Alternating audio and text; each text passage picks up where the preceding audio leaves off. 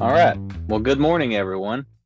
Thank you for joining us for uh, the the uh, kickoff of the Gree Select Dealer webinar.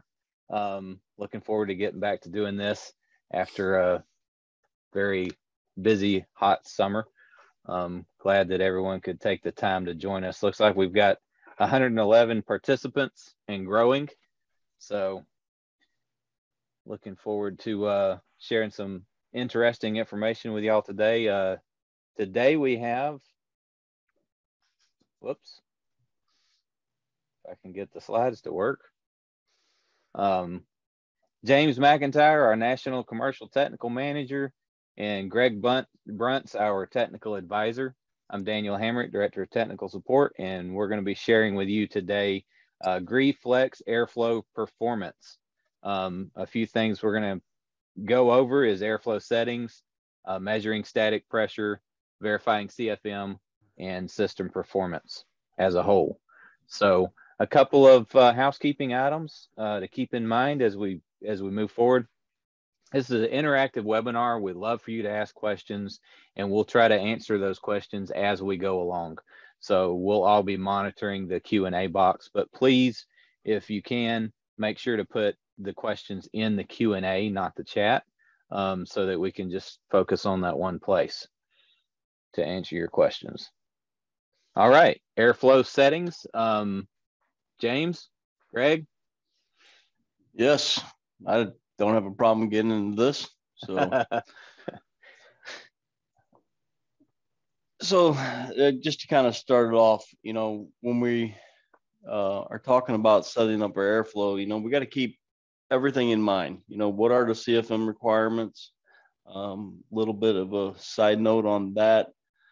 Um, you know, the industry standard's always been 400 CFM per ton. And then if you're in the climates where you don't have as high, high as high humidity, you go as far as 450 CFM per ton.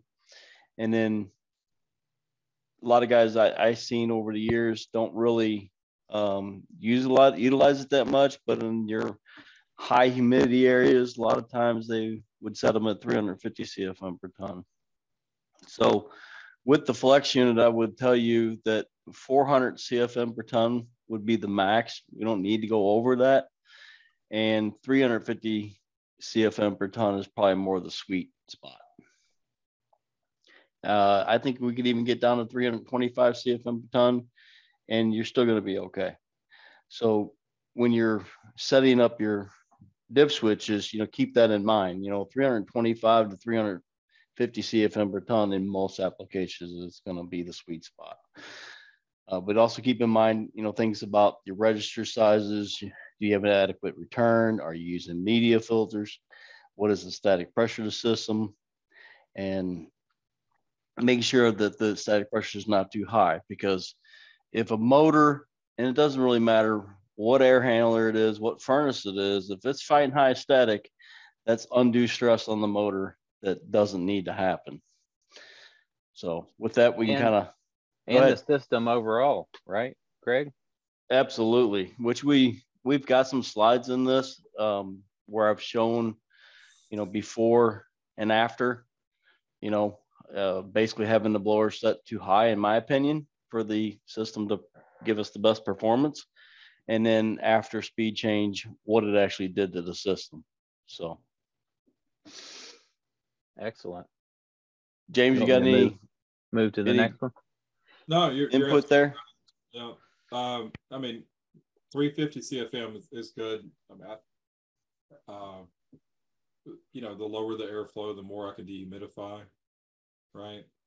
Uh, so that's always a good thing to do. I mean, I know 400 CFM per ton is a is a nice old rule to follow, but you know, there's a lot of rules of thumbs that uh, rules of thumb, excuse me, that probably need some adjustment. You know, uh, uh especially since uh, I mean, ductwork now looks a lot different than ductwork used to. Right. I mean, I, I think we we see that every time we go out in the field, or every time we see. Oh, there you go uh, every every time we see uh, you know pictures on Pro Talk or something, you know, on, on Facebook or whatever. Um, you know, the the duct work that people are doing now is, is significantly different than the duct work they used to do. Uh, you don't see as many round pipe trunk lines with short runoffs or you know short takeoffs anymore. You see, you know, forty foot runs of flex and Y's and ductboard triangle things and you know stuff like that. So it's I mean, you know, quite a I can different- go. I go back. I used to love to go to my grandma's house. Lived down in the city of St. Louis, and let me tell you what. Talk about difference in ductwork. That in the era that that house was built, that was a true art. I mean, it was all square duct, but every change fitting was a a rounded fitting made you know, out of sheet metal. So there was no, you know, 90 degree turns in square sheet metal. It was a rounded radius turn. That ductwork in there, I wish I had pictures that I would have kept of all that. But the ductwork in that house was just, you could tell it, it took them a long time to build it. It was not cost efficient today, what would be today's world. But my God, you couldn't ask for sweeter looking ductwork. I mean, you could almost just take pictures of it. It was that worthy. So, but I mean, that's the way building was done back then. You know, you go in the old buildings and towns with all the marble and all that kind of stuff. But I mean, at one time, you know, in my opinion, ductwork was an artistic thing. Those guys took that serious, and then It was a craft. fitting. It was definitely a craft. Yeah. And I remember my grandma had her bathroom redone and I had to go in there and redo the ductwork and I did it the way I knew how to do it and I felt embarrassed. I'm like, but it works, you know, but oh my God. I, I mean, I just didn't have the tools to make it the way they did it, you know? So if you did a change out with a Flexx, you'd put it on speed eight, right? No. Of course not. All right. Well, let's get into uh, indoor dip switch configuration. So I'll, take the punch on that. I agree. Them dip switches are really small. They're really kind of tricky to get in there and set. But I mean, once we get them set and we get airflow verified, you shouldn't really. It should be a one-time thing. And this is set this is kind of a, a standard thing across the industry, setting up the the fan, right? absolutely. There's no factory setting. I, I used to love that. I always hear that when I've done technical service for, oh, got over 12 years now. And I've heard that same saying over and over and over again. Well, it was factory set. No, there's nothing's factory set. You have to make sure the dip switches are set for the installation that you're doing and then verify that we're, where the system's performing the way it was intended for you to have it set up to perform at and the equipment was designed to perform at. I mean, enables you to dial it in to meet the uh, the needs of the of the space you're trying to cool or heat. I mean, the- Absolutely. I mean, it's variable. If you, I mean, the, one product that doesn't have a variable nature to it is a you know ductless mini split. Well, better not have duct on it, but uh, you know, we've seen that too. But uh, that's factory set, but you know we're not throwing duct work on it, right? Yeah, when you're taking a system where where you're actually adding things to the system, like ductwork and filters and register grills and and and then now it becomes more of a field setup than it is like you're talking about with just a mini split where you know you're tying in a, a factory made uh, indoor unit and a factory made outdoor unit and all you're doing is connecting two pieces together there's no additions to it Yeah. And so this is the chart for the A series air handler. Yes, We have a slide in there for the B as well. yes, we Okay, do. So the um, the A series, you know, if you're still running into those, the heat and cool have to be set for the same. If you want to know why it's labeled that way, well, at one time there was going to be an option to be able to set a heat or you know a heat for one CFM and static and cool for another CFM and static, but that idea was scrapped. Um, But realistically, a heat pump heat mode, cooling mode should be running at the same speed. right. I mean, that's the way it's always been, even unitary product, it's always been your heat pump speed runs the same as your cooling speed. Right. Now, if you're talking strip heat, that's a different story. But with the Flexx, we should have minimal on time of strip heat because this is truly a low ambient heat pump. Right. Unless you're in Alaska. Uh, if you put them like I put them in, you don't have one anyway, right? That's right. I didn't install one in mine either. Yeah. I'm not pulling a wire. nope.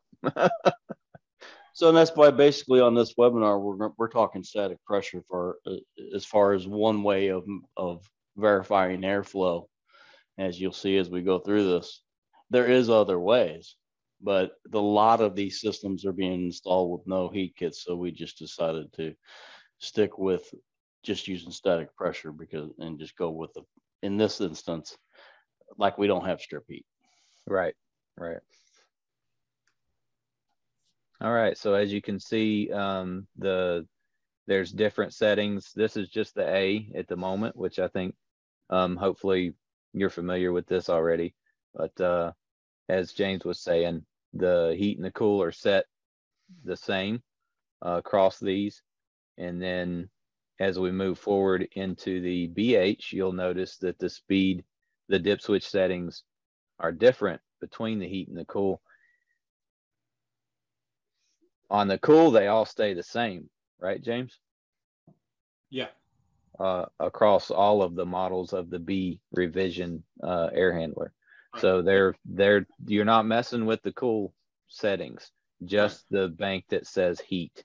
And, And, the and that is, you know, those are set like that from the factory. That's the reason why the heat will be different than the cool. You know, um, you know, maybe the next iteration we'll have them just remove. Either we're going to have two settings for heat and cool, or we'll just have them remove the writing from it just Right. say two or whatever. yeah, yeah, remove the heat and cool because that that's brought us a lot of questions in tech support. You know, is it a different fan speed?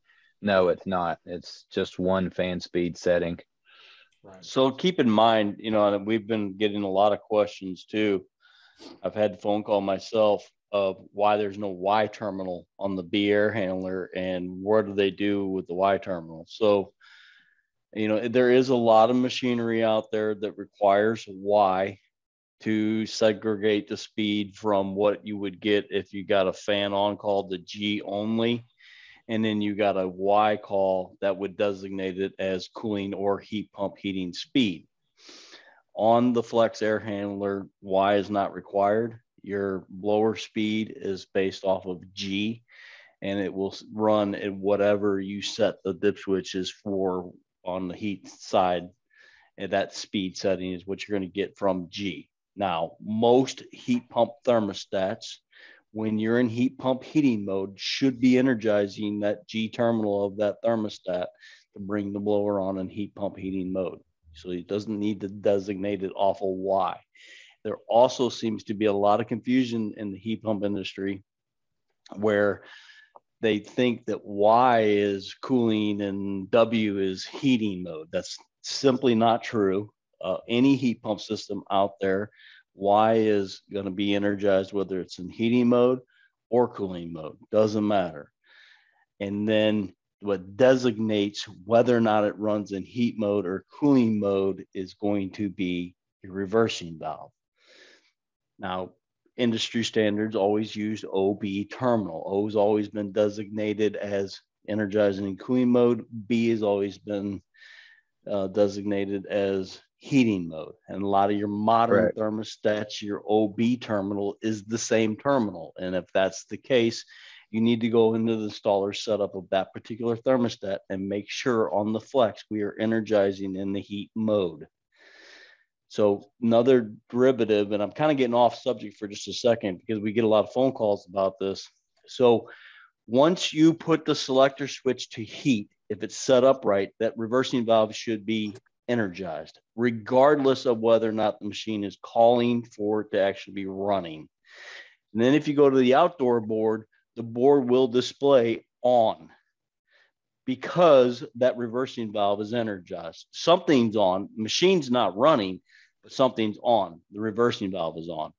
Then when you get your call to Y, it'll actually run in heat pump heating mode. So I hope that takes away some confusion if any of you guys have ran into that and get a little better understanding of, of how the controls turn this machine on. I'm I'm glad you brought that up, Greg. The the the difference, like the the terminology on the terminal board for the low voltage in the BH revision, uh, they took away the Y. So they had they're using the same terminal block indoor and out. Um, it's the same part. And what they did is they took away the Y. So you just connect the Y together by itself in in the air handler when you are running your low voltage and then they needed that Y terminal for something else. Well, what they used it for, uh, if I'm not mistaken, don't quote me on this, but it is D, and that stands for defrost. Um, so the outdoor unit has a D terminal as well. When it goes into defrost, it can send a signal to the indoor, so the indoor unit knows that the outdoor is in defrost mode. Now, if you do not have an electric heater kit installed, it will shut the fan off during that defrost mode. I've I've tested this myself and seen it happen. Um, if you want more details, I'll test it again and write down step by step exactly what it does. Um, but it so it knows, and and if there's not a call on B at the air handler, it will not shut the the fan down. So it knows the indoor air handler control board knows that it's in heat because you have a B terminal connected at the indoor. Um, and then it knows that it's getting a D signal from outside to tell it to um, to shut the fan down.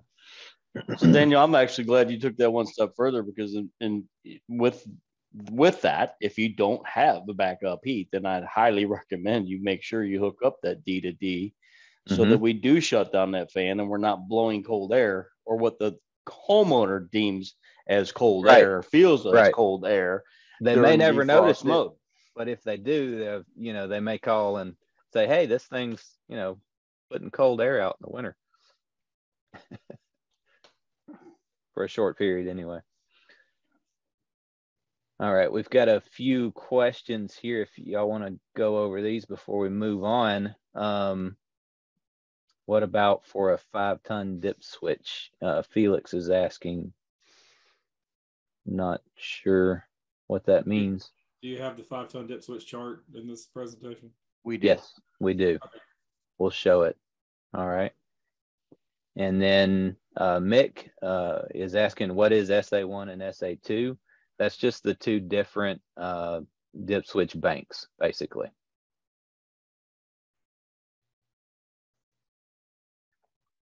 And then William is asking uh, eight speeds question mark. so on the B revision, there is eight speeds. On the A revision, there's only three speeds. And that's so that per capacity. So you've got for the three ton, you've got eight uh, different speeds with with a blow with blower curves for each one. For the two ton, you would have eight different blower curves. Four ton, five ton, same thing. So technically speaking, if you have one air handler, you got 16 speeds. But uh, okay. My uh, Mike is asking. I always find it. Oh, he's just making a statement. I always find it easier to think of Y as compressor rather than cooling. That's a good point because Y why in my mind, yellow or why always triggers compressor to me. Right. I mean, you know, in my head it's contactor, but hey, whatever, you know. Yeah, it, it's always compressor in my head. oh well, I can't guarantee that compressor is going to start. You know? Well, that's true. um, uh, Grant is saying, uh, does the heat pump start in heating immediately?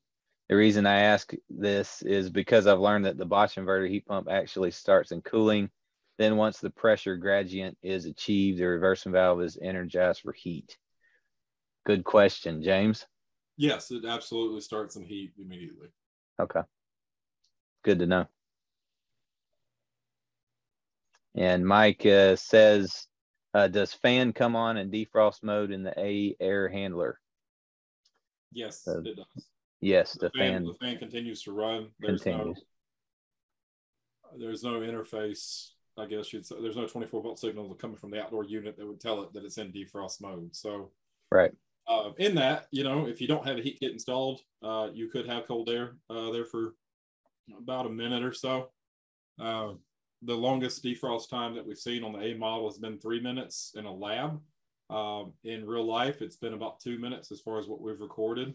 Um, you know, I, I, did some timing on one in uh, South Dakota, and uh, two minutes seemed to be the longest run time. And then I, uh, during our our freeze a couple of years ago uh, on the A model or here in Texas, uh, it was around uh, two minutes, and that was from valve switch to valve switch. So once it stopped heating and the valve switched, I started a timer and it ran through its heating or its uh, cooling cycle, technically, you know, defrost. Uh, and then the time it took to switch back was was two minutes from so from valve switch to valve switch. So in that amount of time, uh, you know, the coil would have to uh, to heat back up, or excuse me, to it would have to get significantly colder in that amount of time, and it just doesn't seem to do that you know, it defrost very quickly. Um, the vast majority of the A models that have been installed have not had a heat kit installed.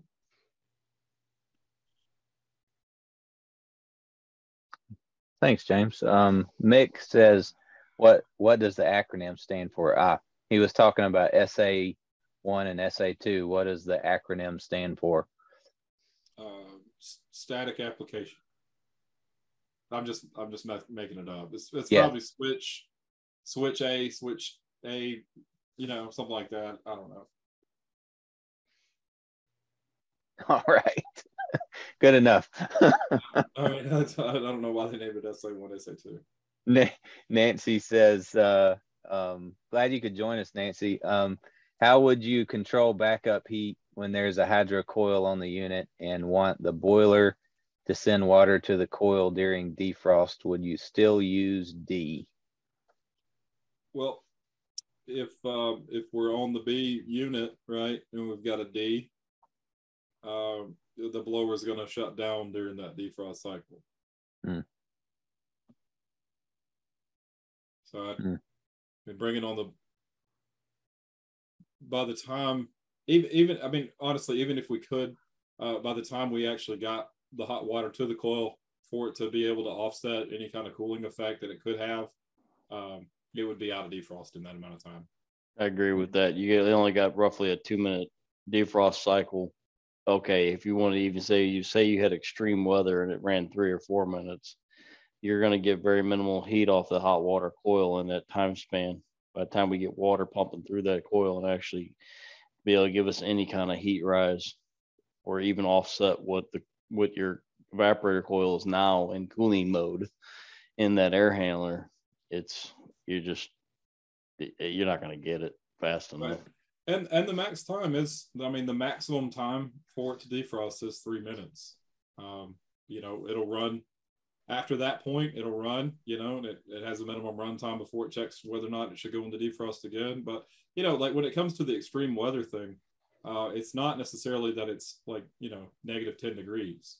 You know the amount of moisture in the air at that point once you actually start to get colder something that we've i mean I, will say that in my experience uh, when we thought about heat pump defrost cycles the colder it got the more we would run but i'm from alabama so there was there was a limit to you know how cold it was going to get, and uh, so you know we still had moisture in there. We still had you know uh, capability of, of, it to frost up, but um, you know what we've seen with high performance heat pumps. I mean, all the high performance heat pumps really is that uh, you know once you get down past that, our heating performance actually, uh, as far as BTUs per hour, uh, increases in that amount of time because we're not running in defrost nearly as often as we were when it was closer to freezing.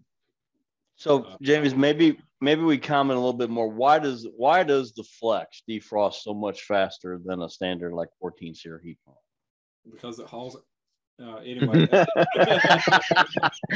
well, that's no, one way to put it. yeah, well, you know, uh, we we do have a significantly higher discharge temperature out of this compressor because it does run significantly faster. I'm not you know, coupled to just the 60 hertz, you know, that the power company's providing. So, I mean, I can generate significantly more heat.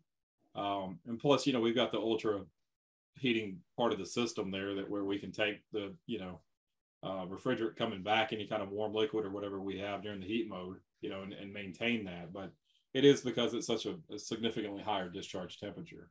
Um, I mean, it outperforms traditional heat pumps, even your inverter driven traditional heat pumps. Well, the reason why I wanted you to bring that up though is because I mean, if you stand there and look at a good frosted 14 SEER unit, that thing will run every bit of a 10 minute defrost. Yeah. So, Nancy, that should kind of go along with your question. You know that you know you just you're not going to have significantly long defrost cycles. You shouldn't anyway. If you are, Well, if uh, if you then- do, there could be a charge issue. Yeah, I was just gonna say same. That was right down the same path, Daniel. That we maybe we got refrigerant issue or a flow issue or something like that. Yeah. Wendy, uh, Wendy's asking, and um, she says, "I'm hoping in this session you guys will address issue with blower motor stopping, but the outdoor unit continue continuing to run, causing their handler to turn to, into a block of ice, and why this happens and the way to fix the issue." Well, I'm glad she brought that up because that's kind of why we wanted to talk about this today. Is that we've gotten a lot of calls regarding the the blower motor shutting down and a block of ice on the indoor um, you know the indoor unit freezing up so the interesting thing is is we we think of things in that pattern right we think of blower motor shut down unit iced up.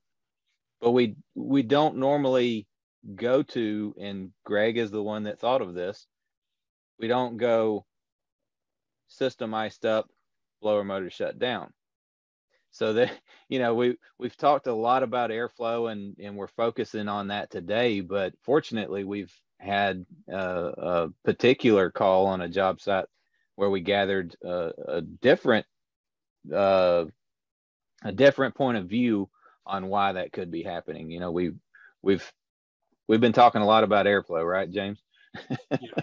Eh, with the blower motor and it's no different from uh, a lot of the other motors in the industry. They're ecm motors. And uh, so as we go along we're gonna we're gonna talk to exactly that. Um, Yeah, so I I, I want to dig into that a little bit harder when I get into the slides. It's gonna kind of get Yeah. more to so you guys can understand where I'm coming from. right right Put it that way. um, we've got a few more questions here let's run through these before we um, move forward uh, felix says i'm installing a five ton heat pump on a 4500 square foot home heat will be secondary heat if i have no y on thermostat how do i wire it um, there is a y on the thermostat hopefully. Uh, otherwise you need a different thermostat.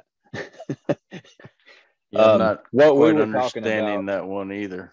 the there the y is there. Like like the y is there for the thermostat and the outdoor unit. The only thing we were speaking to was there is no place to land it at the indoor air handler.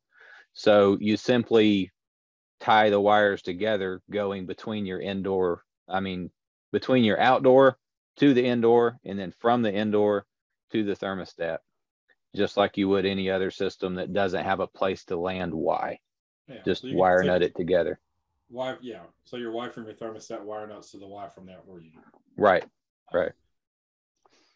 That was a lot simpler. Thank you. No problem, man. That's what I'm here for. Uh, I want to do. I'll do the economy mode.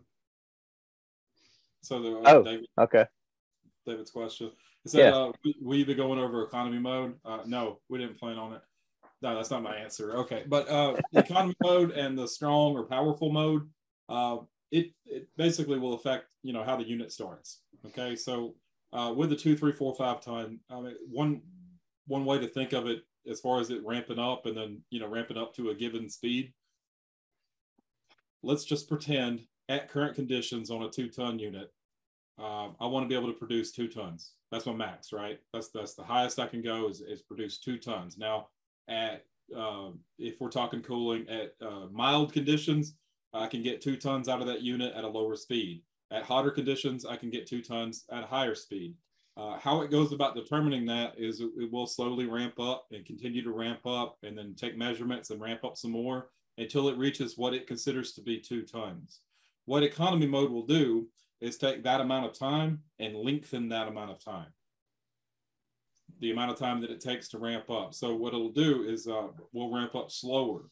You know, we'll, we'll go in smaller increments over a longer period of time until it reaches its, you know, full capacity, and then it will just ride at that full capacity. So economy mode, I mean, it's great um, for applications in which you, you, you definitely have too much capacity. Like, you know, if you were a half ton too large, for example. Um, but it's also great for, you know, mild conditions I don't necessarily need to actually hit my maximum speed in order to cool the space, probably. So economy mode may actually uh, uh, satisfy the thermostat before it actually, before it you know hits its uh, maximum speed at those current conditions. Uh, strong mode does the exact opposite. It, it does it faster. I haven't had anybody that you know I can't really think of any application where you would need the strong mode because you know the unit's going to do what it does anyway. Uh, but the economy mode, definitely, if you've got like a three and a half ton swap out, you know, I don't have a three and a half ton unit. So you could, you know, theoretically, you could take a four ton unit, for example, and go economy mode, and it will hit, you know, the uh, the temperature in that space before it ever actually hits that four tons, you know. So just, David, the other thing I would keep in mind also in economy mode you would most likely or more than likely you're going to get better humidity control because you're going to force longer run cycles. Right. So if you have an instance where, like James was talking about, where maybe you're half ton too big and you've done a change out and the complaint is that the humidity is not under control as well, two things I would do. One, I would make sure I'm at that 325 to 350 CFM per ton because that's going to make our coil run colder to get better humidif- dehumidification. And then second thing I would do is put in economy mode. Economy mode. Right. Yeah. If you do the 350 per uh, CFM per ton, uh, the economy mode, and you can keep your kid from you know leaving the door open, you're have a nice a nice dry house. who hasn't Who hasn't heard what do what do we what are we doing trying to air condition in the neighborhood? Not in my house. My Close the door, already, son. My son already knows where the outdoor all the heat goes, so he knows that we're not cool in the neighborhood. uh, so John Kohler says so. B must be connected at the air handler terminal, and then to the outdoor unit. What if it's just wire nutted inside the air handler? Um, then it, then the air handler won't know that it's in heat. Right defrost. Wait, no, heat. B. Heat. Yeah, it needs it needs to know that it's in heat. So yeah. the D function doesn't work unless B is connected. Right. If B is not connected at the indoor, then the D signal from outdoor will mean nothing to the indoor. And and I actually tried that when I was testing it. I was just I didn't have it hooked up to uh outdoor unit. All I was doing was putting power on the different terminals to see what the blower did. Sorry, I mean maybe we're reading it wrong. It says so B must be connected at the air handler to the outdoor unit. So you know just your reversing valve. Right? Yes. Yes. What if we just correct. wire nutted inside the air handler so we don't connect B to the air handler? Correct. Then D won't work. The D function. D won't work. Okay. Wait a minute. Yeah. I'll have to I'll have to look at that again. So, John, if you don't mind, send me an email and uh, I'll look at that again because I think it's uh, it's W at the indoor air handler on the B B revision. Well, there's both. There's W, w and D, D, but not yeah. B. Yeah, B is in Bravo. Yeah, yeah, B as in reversing valve. So I'll have to look at that. I'll pull it up. we'll come back to that one. Um, all right. So uh, Nancy said, I've seen the blower shut down and the outdoor unit continue to run. We found the voltage from the transformer was low. In, in their case, it was wired as a 230 volt system and only had 208 volts. Once the wiring was fixed, the issue never came back in. That's an excellent point, And I've actually had several questions on the transformer recently. Um, so if if you're not producing enough voltage to for that board to understand that it's getting a signal, like if you put let's say for instance you put 19 volts AC on G terminal, it's not going to bring the fan on. It there's a certain point, I don't know what it is. Maybe James knows. Um 17. Um so so if if you don't have enough voltage on that signal, then it's not going to bring it on. Now the the So the could- transformer setup for 208, all you have to do is swap the blue and the black wire uh, where the transformer connects to the, the high voltage, your voltage coming in. And so for a 208 system, you just swap to the blue wire, I believe. So with what Nancy's saying there, I like that that you brought that up mm-hmm. because I can significantly see that being an issue with the motor.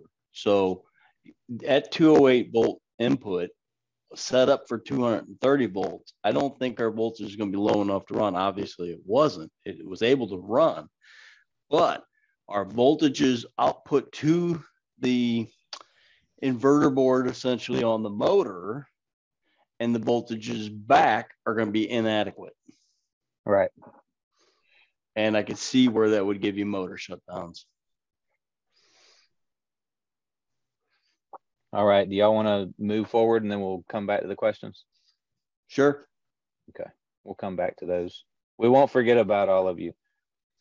All right, so indoor dip switch configuration. Uh, this is the the BH uh, 30 uh, three ton. You'll notice all of the cool or SA1, they're all the same. It's only the heat or SA2 that you're changing to get the different speeds one through eight. 48K, you'll notice that the four ton is a different sequence. So if you're looking at the three ton chart in the manual and you have a four ton, then you may not have the correct speed setting. And there's the five ton. There's the five ton right So if there. you have a four ton, don't use the five ton chart thinking that you'll get more CFM. Correct. I mean, All right. We good there? Let's move on to static. Yep. Good. All right. Greg? So measuring static. So, you know, I just threw these pictures out there for you guys. Uh, the one thing I will stress, we should be using static pressure probes. If you look at a static pressure probe, the holes are in the sides of the probe. They're not in the end of the probe. We don't need to measure velocity. We're not trying to measure velocity because the, the blower charts that the manufacturer provides to us is based just off of static pressure. So we so static pressure probes, and then whatever fits your fancy, whether you want to use a dual port manometer, single port manometer, digital, or just using the old school incline fluid manometer. It doesn't matter to me. We just got to have a tool, one of these tools, or even the Magnehelic gauge. We got to have one of these tools that's going to allow us, after we've set those dip switches, to verify what our airflow actually is. What is that system delivering? What's a Magnehelic? Yeah, that's like kind of old school. capacitor. Yeah, it is like a flux capacitor. But hey, they're accurate, provided you didn't drop it. But I don't think you'll ever beat the accuracy of a fluid manometer as long as we got the fluid fi- filled to zero. So if you're ever wondering if your gauge is off, get you a fluid manometer and measure the same readings with that fluid incline manometer, and that'll tell you whether or not your gauge is reading right. So there seems to be, uh, and technicians I've spoken to over the years, it seems to be a misunderstanding of static pressure. So just put this out there, just make sure everybody's on the same page. So your return is a negative pressure. You're sucking on the return, the blower sucking on the return. In your supply, obviously, that's positive pressure. We're pushing air off of the air handler into our duct system. What we're looking for there is the difference between it. So even you know you're getting a negative number on the return and a positive number on the supply.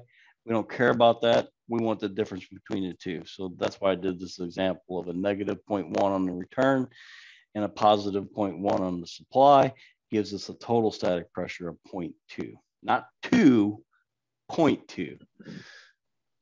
So just I'd only put that out there just to, you know, you know, I'm, I would hope most people on this phone call uh, in this webinar already understand this, but for the ones that didn't, now you do. it's important to uh, to note where the decimal point is.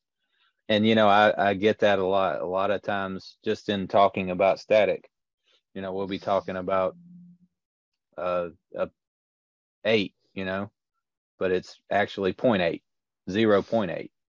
Um, so that can be kind of confusing, or 0.6. Or and let's keep let's keep in mind too. So the A revision, here's the difference. The A revision air handler is rated to 0.4. The B revision air handler is rated to 1.0. So there's a significant difference in the blower capabilities of both of those air handlers. Both of them should work just fine as long as we size the ductwork and everything properly. And set the fan up correctly. Yep. James, you were going to say something. All right. Well, the difference between uh, 0.08 and 0.8, like, you know, just rule of thumb from years ago, a lot of ductwork was sized at 0.8 08 wasn't sized at 0.8. Mm. You know, I'm not going to go grab a ductulator or anything, but if you take a look at the CFM delivery at 0.08 versus 0.8, it's significantly different. so it's a huge amount. Um, so we do have blower charts. We're going to talk more about that. The Flexx air handler does give us the performance charts Performance charts. Sorry, can't speak today. Um, of the CFM being delivered at that measured static. Obviously, your supply static must be measured in supply duct, but we need to do that right off the air handler. We can't be doing that, you know, if you got a branch runs and everything, we got to get it before we get into all those branches because we need to include the entire supply duct.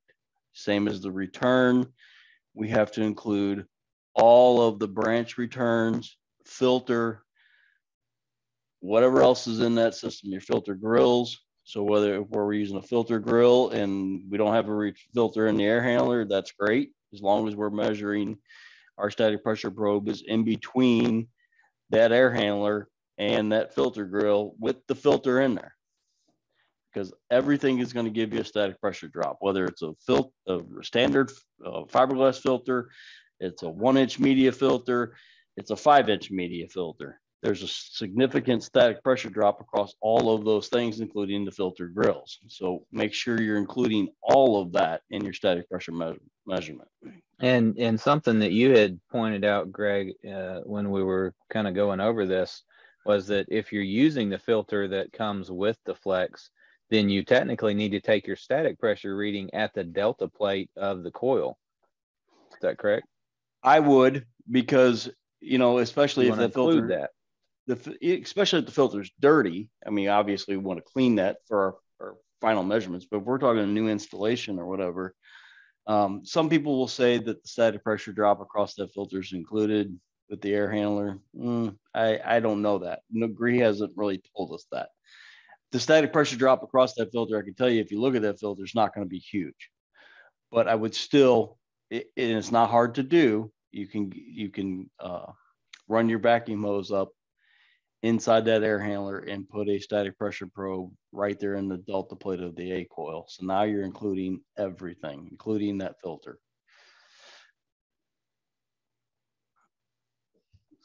Uh, one thing back, go back on that for just one second. One thing I wanted to also point out. So when you're running an air conditioning mode and you got a wet coil, so now we've got a significant amount of water uh, on that coil that is going to increase your static pressure. Your CFM delivery is going to be a little bit less with a wet coil versus a dry coil. So keep that in mind. It's not huge amount CFM wise, as long as our static's not too high. In my experience, depending on the tonnage, we're probably going to lose somewhere between 50 to 100 CFM total with a wet coil. So if you're doing all this in the wintertime, when you come back and do your spring check, you might want to recheck your static pressure with a wet coil. Now, is that is that just a second back on this. Is that something that you would normally do in like a maintenance check? Would you check static or something like that? I would definitely do a static pressure test on a maintenance check because it's not that hard to do anymore. We got digital manometers. You know, you, you Yeah. don't really. It's not that much work to do it. Uh, and as we go further here and we talk about system performance and stuff like that, there's even more tools out there that will actually not only you can measure your static pressure, but you can do your wet bulb, your dry bulb. You can take all those measurements, and it, it doesn't take an ungodly amount of time, and you can actually see the BTU performance of that unit. So if you're really going to do your customers justice and also be able to, you know, honestly tell that customer, yes, this system is performing the way it's supposed to be performing. And, and a lot of these tools nowadays, you can even get an email printout to show the homeowner or keeping your file or whatever. This Yeah, system's working yeah. properly. Record keeping. So, all right. So verifying CFM. So what, now that we know what tools we need to do, we know we need to measure static pressure. So now we're going to measure that static pressure and determine our CFM.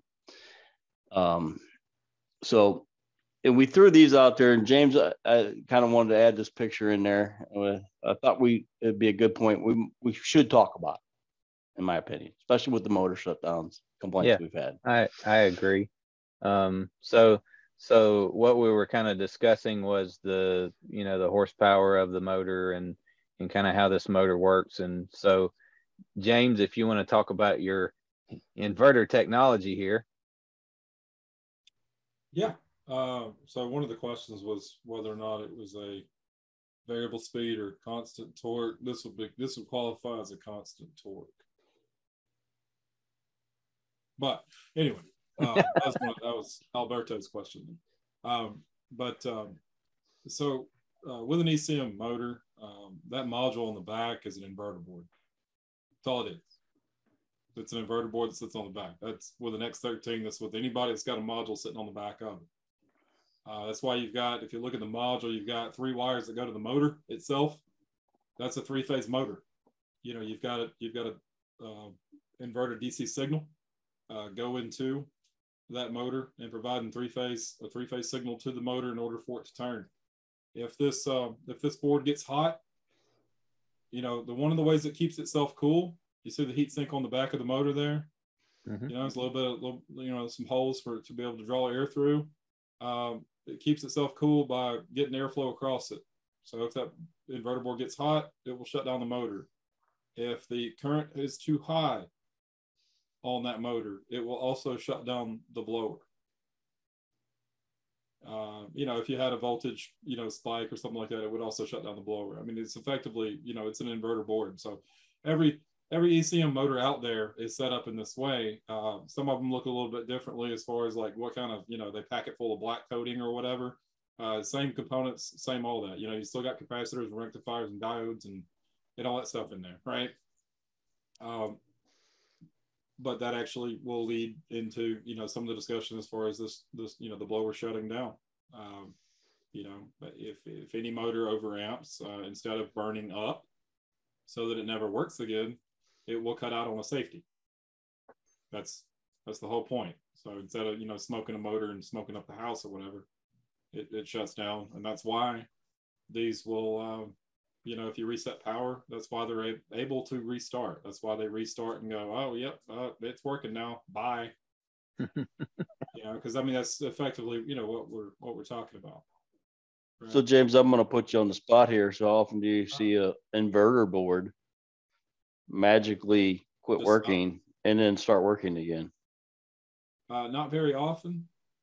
Uh, no, so without it being some kind of safety being tripped, you know, like with an inverter board and uh, mini split products, for example, uh, unless it is smoked, unless it is burn up, you know, lightning struck the unit or whatever. Uh, if you went out on the error code, that's what it's for. It is is to prevent, you know, the compressor from burning up or a fan motor burning up or the board itself burning up or whatever. Those are safeties that are built into the mo- to the inverter board itself. Same thing with this module. Um, there's an LED that you'll see flashing on the uh, on the main board. It's basically sending a signal back from it saying it's in error. What error? Uh, it shut down. That's, that's the shutdown error is what we get in that case. So when you think about it that way, You know, why is my motor overamping?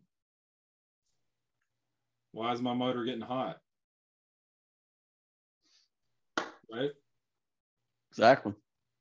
So, I So- mean, it's like to, to relate it to something else. I mean, why does a rollout switch keep tripping? Why does my pressure switch keep tripping? Why does my, you know, why is my induced draft motor, you know, my pressure switch not, you know, closing? Why is, you know, like we, we if we if we're looking at the, you know, basically if we're going, why is the blower motor shutting down? We're looking at, you need to look at why the blower motor shutting down, not the fact that it's shutting down. You know, uh, you know, if I shut down, what happens to my coil? Gonna Freezes freeze up. up, It for freezes sure. up. Right. Okay. If my coil is freezing up, I reduce airflow, right? And if I reduce airflow, what can happen to my motor? Can overheat. It can overheat. I can get over current. Well, current equals heat. You know, one of those two things is going to shut it down. And And, and the other thing to, to simplify it a little bit more too is that if you freeze up that coil or you have a completely blocked filter, either way, if you freeze it up, you put a, a, a complete block to your return air. So what's going to happen? Your static pressure is going to scream. That motor in there still, by the design of the squirrel cage, not so much the motor, it still wants to get its air if it can't get its air, it's going to it wants that air. So now we now we're stressing the motor and the amp draw on that motor because it's still trying to pull that air that it can't possibly pull. And if you got any leaks in that air handler, you ought to be able to find them. All you got to do is block off the evaporator.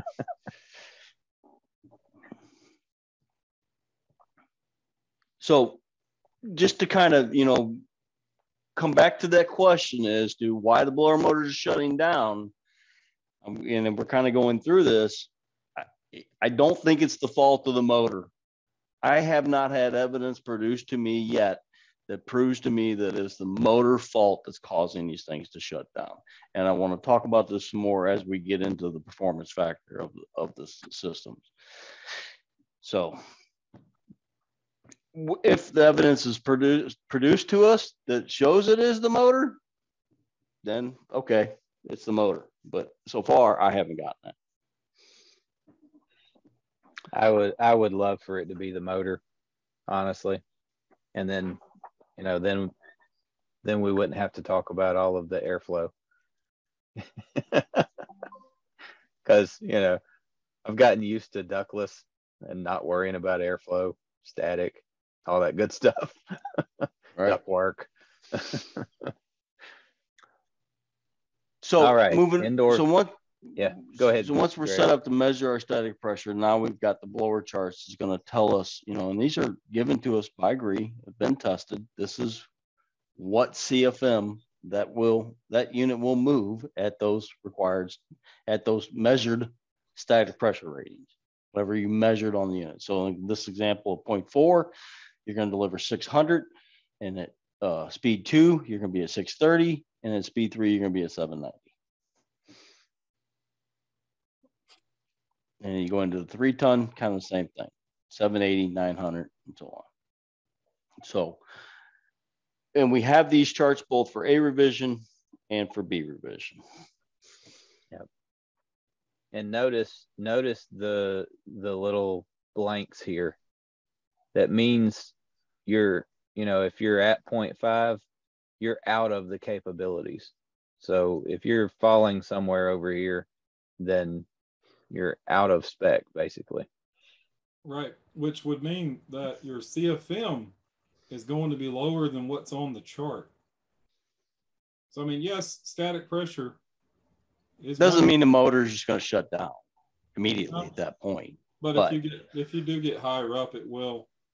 Um, Correct. now, I mean, I, I mean, I guess what I mean, I'm sure it would be asked why it doesn't like tell the outdoor unit that the static pressure is too high.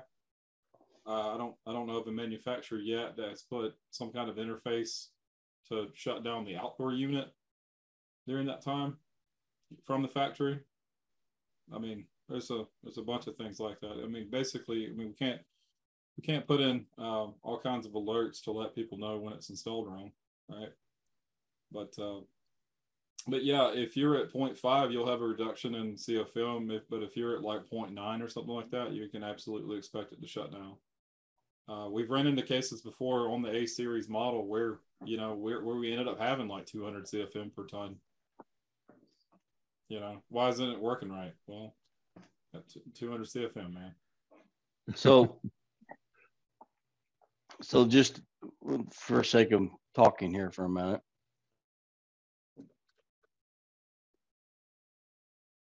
look at the static pressure chart on this five ton at 0.4 total static. We're moving 1440 CFM. That's 288 CFM per ton. Okay.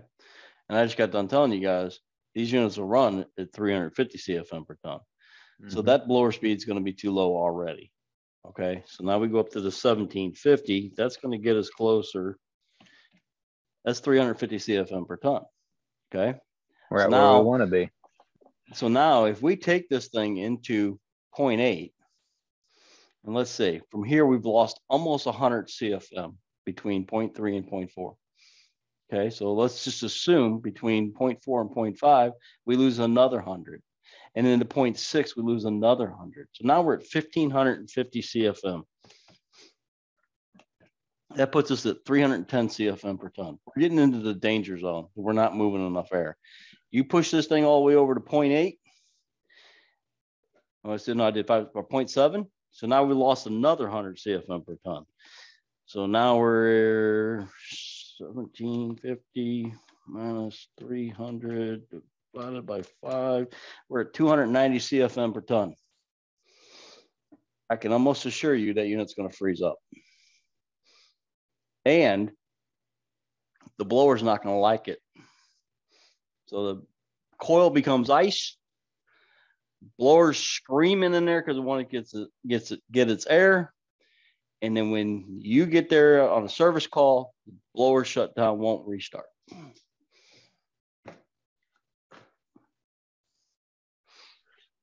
All right, moving over to the B revision. So that that was the A revision, the low, the what we consider or commonly referred to as low static, and then the high static B revision um, will knock your socks off. it's absolutely unnecessary amount of air. yeah, we can get way more than we need on this yeah, system. Definitely.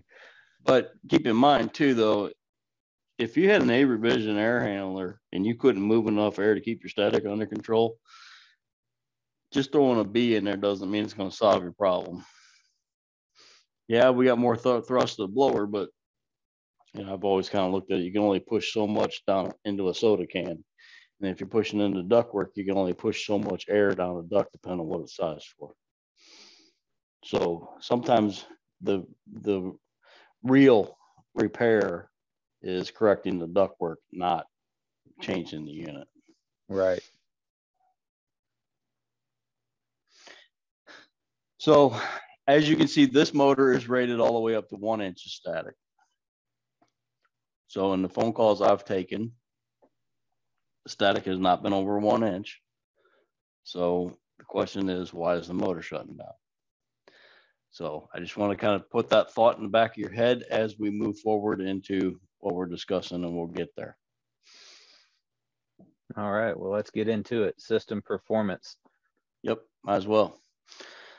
And, All right. and when we're when we're talking about system performance, what we're talking about is the system, not the indoor air handler, not the fan motor, not the outdoor unit, not the compressor. We're talking about the system overall as a whole. Um, you know, it, it happens to to us all the time, and I'm sure it happens to everyone else.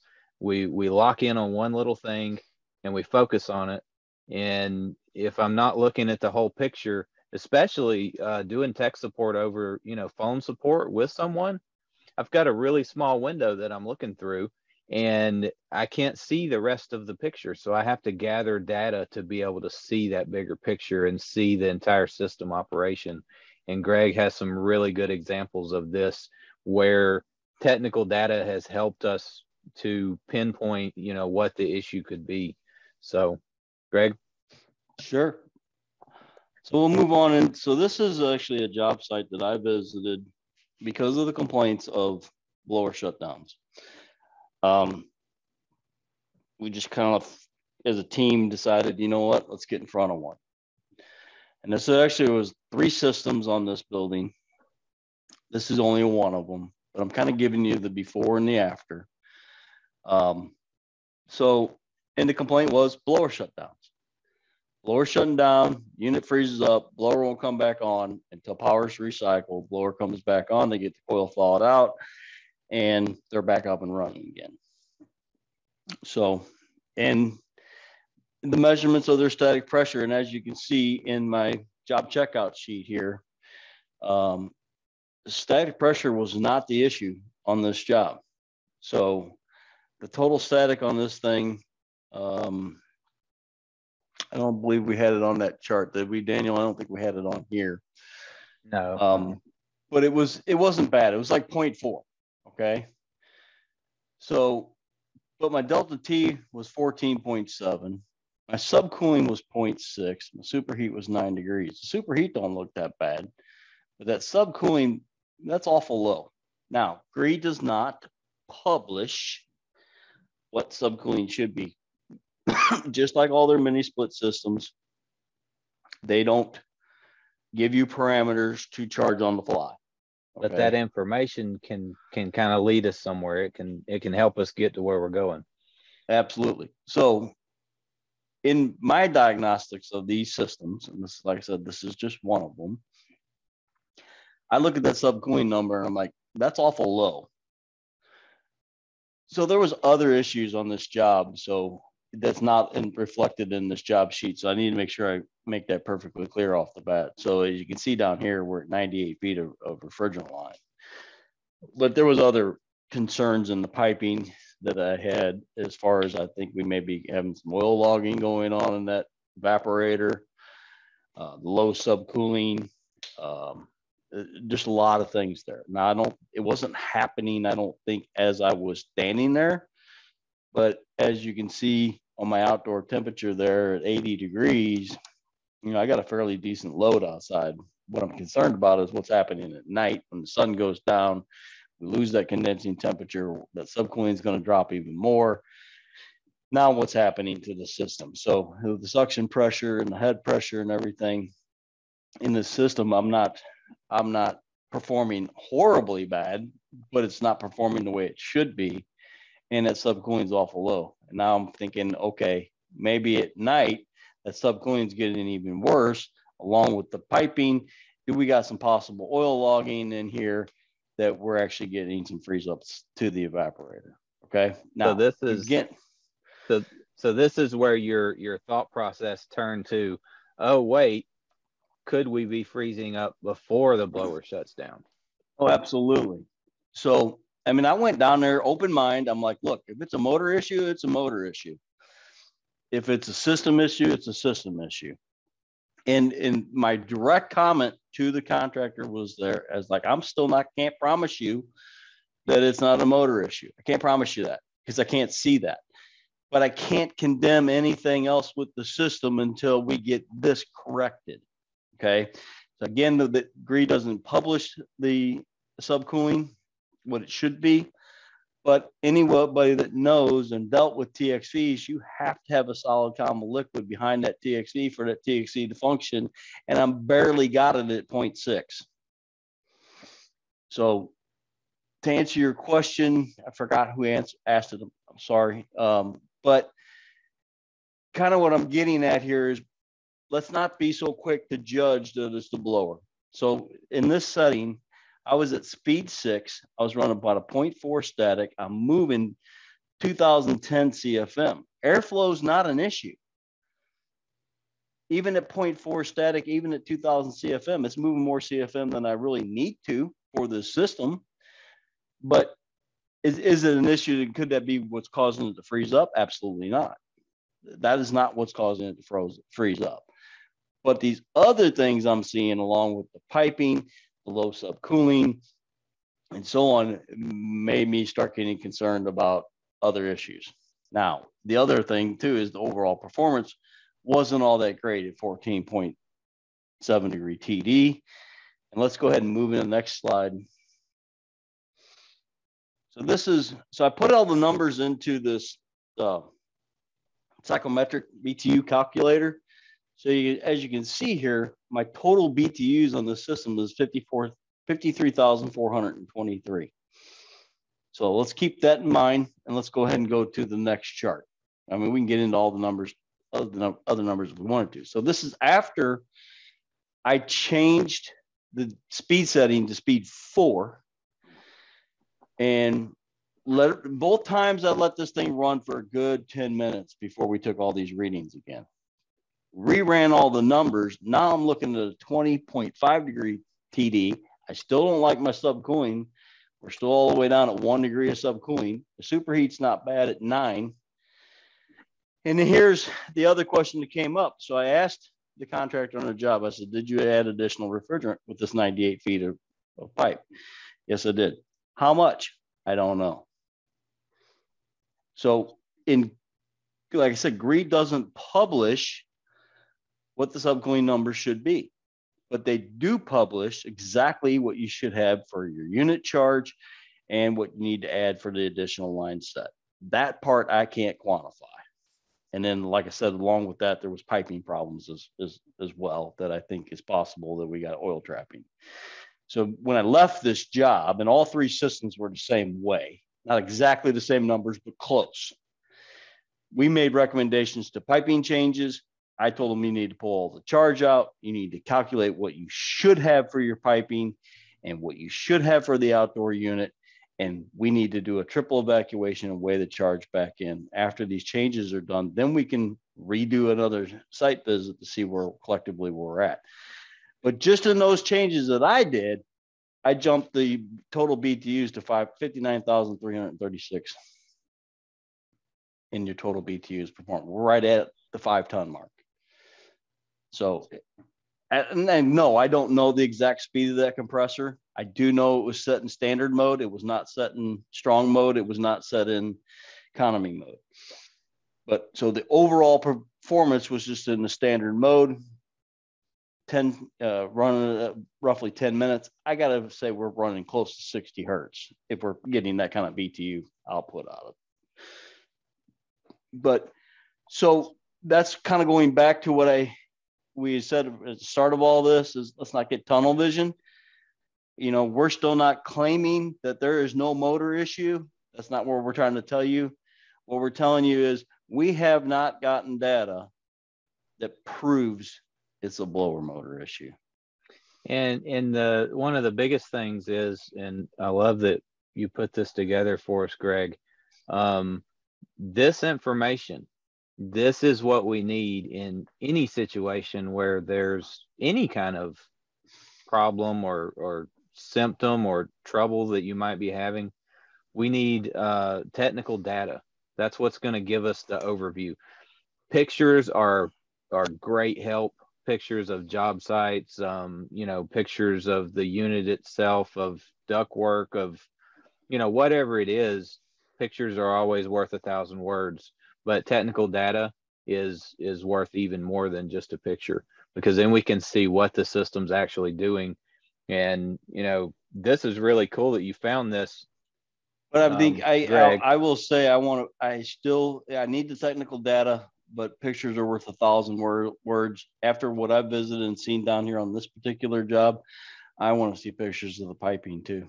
Oh, most certainly. And you know, that's something that we overlook a lot of times.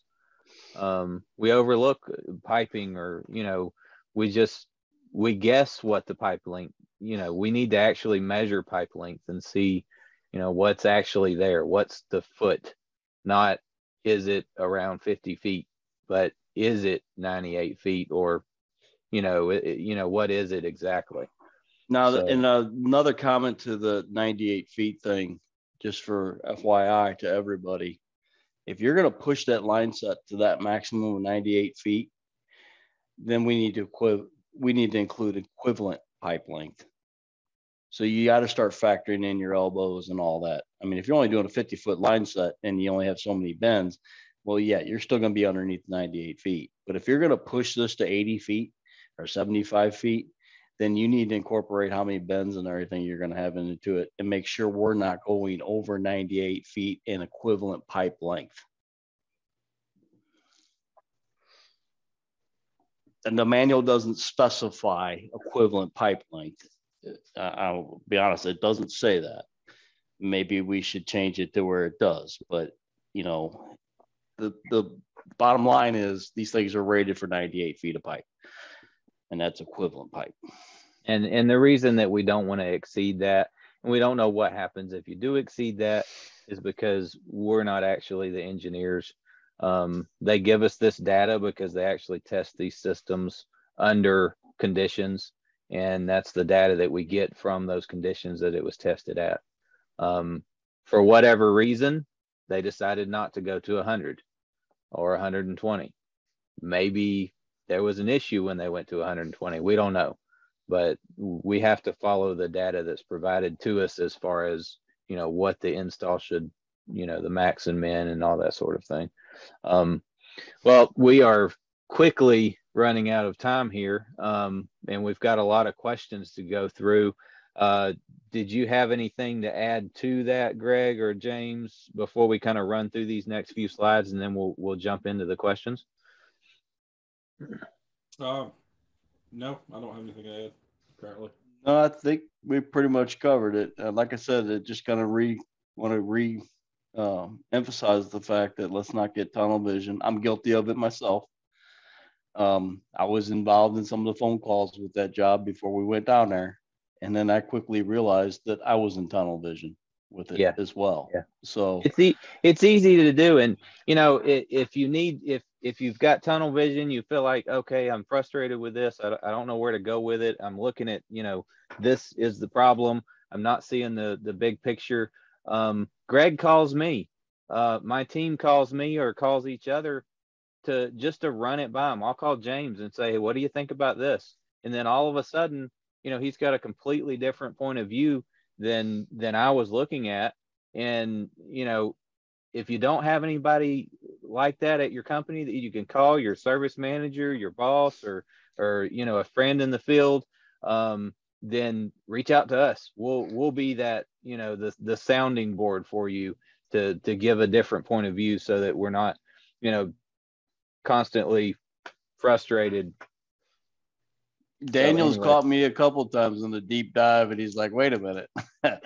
we went back to basics. And I'm like, "Oh my god!" I remember an hour on the phone. remember and It one should have been a five minute phone call. I remember one of those, and I do it myself. You know, I'll, I'll get I'll get off into the into the rabbit hole and and get lost, and and then it, somebody has to drag me back out and say, okay, don't complicate it. Let's think about this very simply. Um, and a lot of times we'll figure out what it is. So if you don't have Ain't got no gas in it, right? ain't got no gas in it, I know why it won't work. Yeah. my, my daughter was doing that to me all weekend. I know why it won't work. Ain't got no gas in it. so if you if you're in a pinch and and you've already finished your carton of bud, um, you can use it to finish out your return. I guess I don't know. Um, don't forget, everyone, uh, we have a website. And on that website, we have a lot of good information. In fact, uh, Greg has been working on some new information um, called the Error Code tool. And on the contractor tab on the website, click on troubleshoot error codes, and you can type in the error code you have. And we're we're creating. Um, they're all there at the moment, so you'll have a description of what it is. But we're creating a, a step-by-step um, troubleshooting. For instance, here we have the FO code, and over to the side we have tips and also links to videos, or in this case, a PT chart and then a quick tip video. Um, so don't forget that that's there uh, as a resource to help you out. Um, yeah, and- and with that said, you know, one of the biggest phone calls we get in technical service is for the E6 on the mini splits. The E6 is the one of the ones we just got done updating. So I highly encourage the use of that troubleshooting error codes. and you and pull up the E6 because it should give you a really good baseline of where to go. Yes, sir. Um, and don't forget when you call us, you're going to receive a text back. Feel free to text us pictures of the data plate or text us back um, uh, model and serial number. Uh, please be sure that you are providing information when you reach out to us. Uh, we use that to get you to the right guy as quickly as possible. And um, also, don't forget that we have uh, a, a, new um, technical person with us that is actually available for the West Coast uh, to try and to help out uh, all our West Coast friends. Um, so don't complain that you can't get a hold of us. social media. Don't forget to follow us on social media. We have several accounts, and this particular web- webinar should be posted on YouTube within four to six months. Maybe, maybe a few weeks. I don't know. All right, let's get to the questions. Thank you, everybody. Um, so, uh, John says a couple of questions. The A coil on a propane furnace can only be forward of the exchanger, cannot draw through.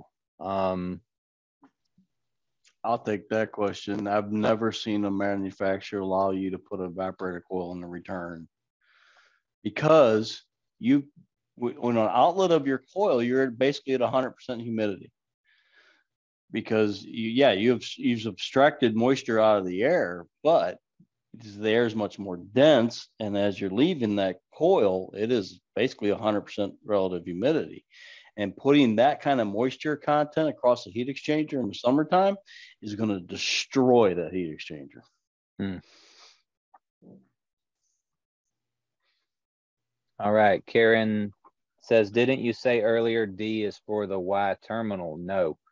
Um, the Y terminal is either there, it's not. The A revision has the Y at the indoor, and the B revision does not have the Y to land at the indoor. They changed it to D, so it's actually a different function. So if there is no Y terminal, you just wire nut the Y from your stat to the Y going outside. Yes. Direct, directly from the stat directly to the outdoor unit. It does not need to land at the air handler. Uh, John says, how can I use the Flexx with furnace using Flexx as primary and propane as secondary if Flexx were to fail? Relays, two separate stats, out ODF state customer and snowbelt. Thank you. I think, um, you I'll know, take that question too. Yeah, go for it, Greg. You need a, a good quality dual fuel thermostat. Mm-hmm. And a good quality dual fuel thermostat whether or not you utilize an outdoor air temperature, which is the way I would do it, it would be a sensor that's part of the thermostat, not part of the equipment. You can't tag into the ambient sensor on the outdoor unit. You have to use a separate sensor that's incorporated with the thermostat. Then you, in there, you can go set your lockout or your balance point. Let's put it, let's call it balance point because that's truly what it is. Balance point would be at what point does the gas furnace, what temperature does the gas furnace become more efficient than the heat pump? And I'm not even going to bother to try and answer that question for you because it depends on the efficiency of the furnace. It depends on what fuel you're burning. It depends on what you're paying for the kilowatt hour, and it depends on the performance of the heat pump. So there is a lot of, uh, if you really do your homework, you can find balance point graphs and stuff that you know allow you to to um oh sorry. Oh i got sidetracked that took me so long. So um there's a lot of good information out there to help you kind of decipher that. So but but the you know that that old school i've heard it from so many guys over the years you know at 30 degrees, that heat pump needs to shut down and that gas furnace needs to take over. You know, that's just, that's another one of those rule of thumb things. And you're going back in a lot of years and heat pumps become a lot more efficient, a lot, but remember this Flexx is the 100% capacity at zero. So if you're on propane, you probably really don't need to be shutting down that Flexx heat pump until you're at least at zero. Because I think the Flexx is probably going to be more efficient to run than burning a propane furnace. Mm. That's my opinion. I don't have numbers to support that. That's all in balance point I don't disagree with information. So All right, thanks, Greg. Uh, Grant, why do these systems not achieve a higher EER rating? Is it because the heat pump ramps up and makes better heat as compared to a single speed system? Yeah, pretty much. It's also a numbers game. So, um, I mean, I'm not going to go off on a tangent. You can stay afterward. We can go off on a. Dang it. you know, I'll go get a drink or something. And we'll talk about it.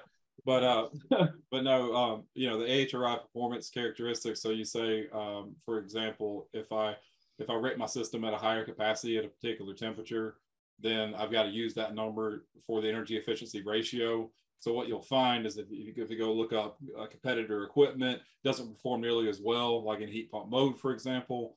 Uh, you'll find that they have an higher, higher IEER because the the the efficiency ratio that they're uh, is higher at the performance that they're rating their equipment at. So they'll just lower the rating of the equipment to, in order to give a higher EER. Um, you know, next iteration of, of Flexxes, for example, will likely have a higher EER. Uh, it will, you know, they're going to qualify for Energy Star across the board, you know, that kind of thing. But it, it really is, um, you know, it's it's just a numbers game. But I like your explanation because it does point to the advantage of using the Flexx system. It's not just, you know, hey, look how good of a cooling unit I've got. You know, I can save money year round now. I've got high efficiency air conditioner, but also have a high efficiency heat pump. You know, if I've got a super high efficiency uh, heat pump, but uh, my heating performance sucks, you know, at 20, then my electric heat's on. So what happens to the efficiency at that point? Right? It goes, it goes to crap is what happens. So we can look at money, you know, money saving year round versus what I would do with, let's say, the most expensive unit around. Um, Good answer. Thanks, James. I don't. Um, Michael says we're installing the Flexx with furnaces in Chicago. Um, is there something special about the Gree coils? Uh, I'm going to skip that part. Can we use carrier or ADO heat pump coils? ADO heat pump coils? Um, uh, it's there- 80 oh, ADP. Okay. That makes more sense. yes. Uh, it- yes. Okay. What Paul says, where do you find the dip switch charts? Uh, on the website, if you'll look in the installation manual.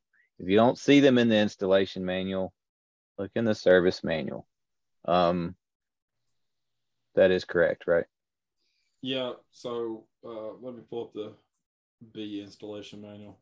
I use our website all the time. yes, the B uh, B installation manual on the on the website shows the uh, the B air handler dip switches. On the A, I believe it shows In the service manual. service manual. Yeah. Um, uh, Michael says unit worked perfect for about six months and started to make a pulsating noise vibration. A little bit more to that. We installed a three ton heat pump with Gree coil and the customers complaining of throttling noise happening periodically. System has been operational since June. I've actually had um, a case uh, where the they used the wrong size line set and um, it was making a noise.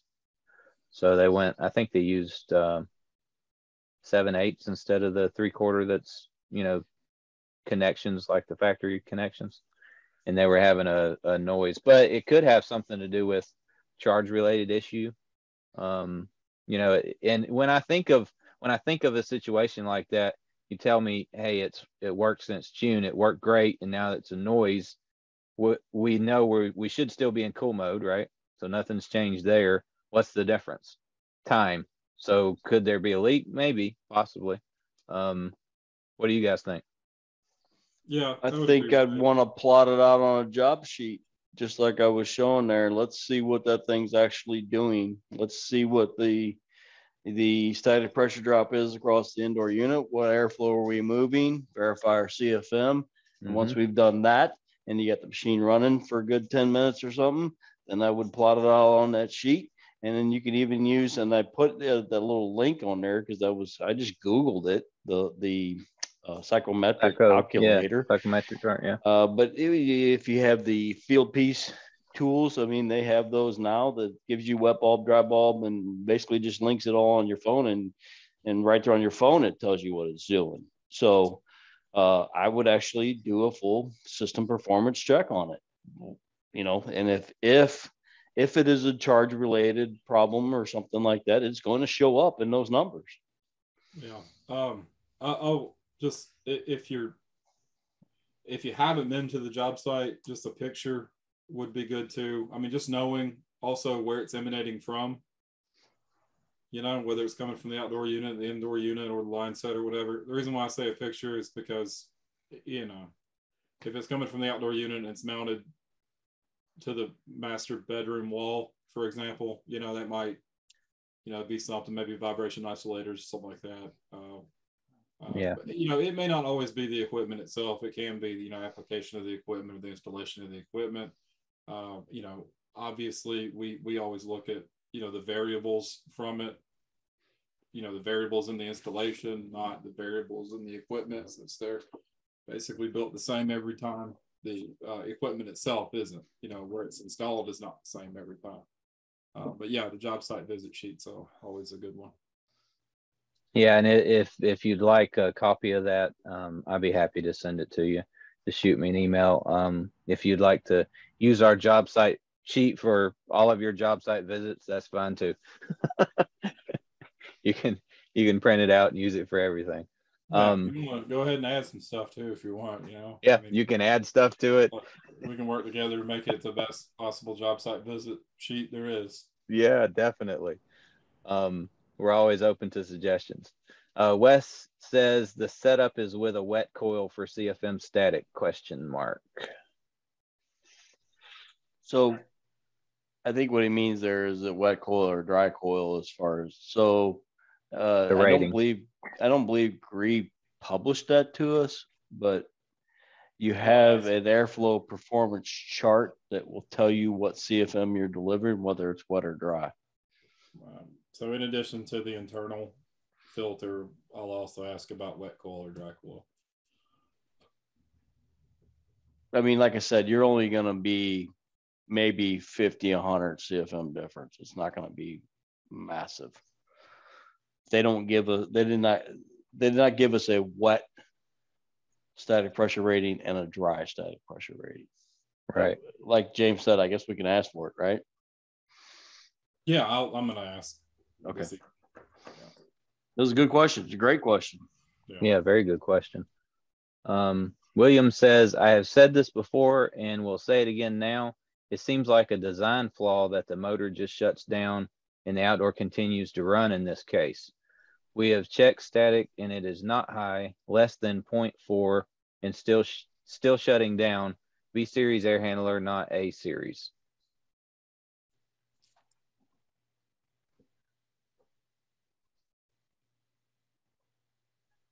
Yeah, so I mean, we could say, you know, there could be something else going on there. You know, like the example that Greg used. Uh, Yeah, yeah. For the charge. Uh, now, as far as uh, it not shutting down when the coil freezes up, or it freezes up because the blower has shut down. I mean, the question I would have is what what are I mean, we can make changes to the uh, the equipment to meet what the you know what our competition does. Um, is there um, is there like a factory installed freezestat on a typical system? I mean, I've been kind of out of it for a bit, you know, just just doing this. So I don't know if if it would be Is normal. standard or uh, something. Yeah, like is it standard to provide? I mean, it's absolutely something that we can take a look at being added, uh, particularly in the you know next iteration of the equipment. We're always interested in making the equipment better. Um,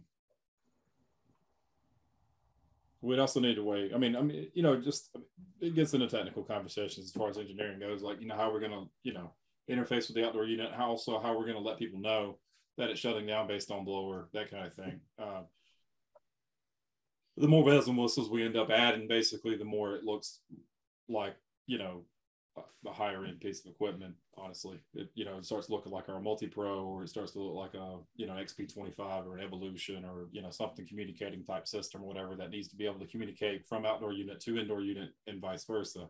Um, so I mean, well, and I'll say, like I said on that job that I went to visit, you know, I went with an open mind. If it was a motor issue, it's a motor issue. But when I go to a job site and collectively all that other stuff is not right, how can I determine it's a motor issue?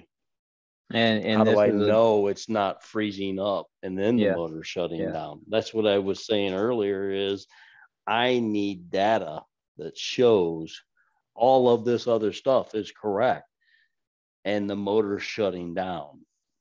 Yeah, and and and you know, how do we know if if the ice came before the motor shut down, or you know, vice versa, or if there is ice, or you know, there's all sorts of different factors.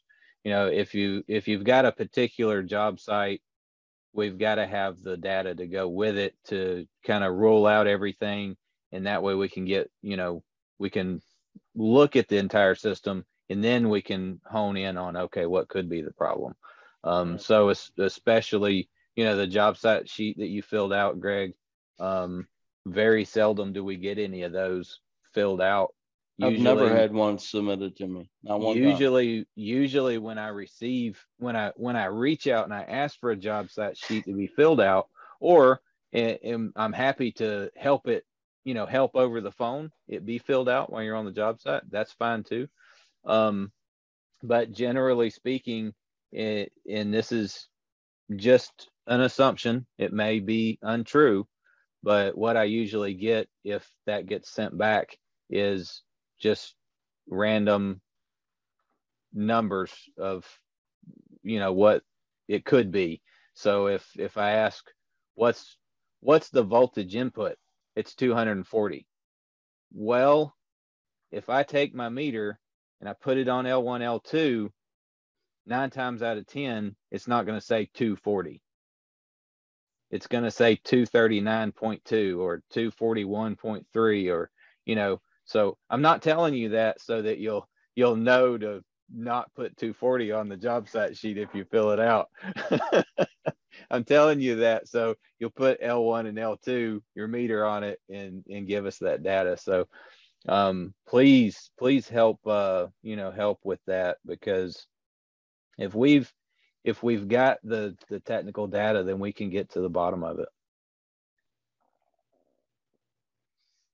all right ray is saying what is the ideal static pressure when designing duct Well, in my opinion, when the unit's all said and done and running, uh, the sweet spot for residential installations has always been, and then I would consider the Flexx more like a residential type system. It's not, it's not a quote unquote a commercial system. Not that it can't be used in some commercial applications, but 0.3 to 0.5 is your ideal sweet spot right around in there. Uh, a reef sorry if i'm saying that wrong is point uh, is 0.4 inch the tsp or esp um that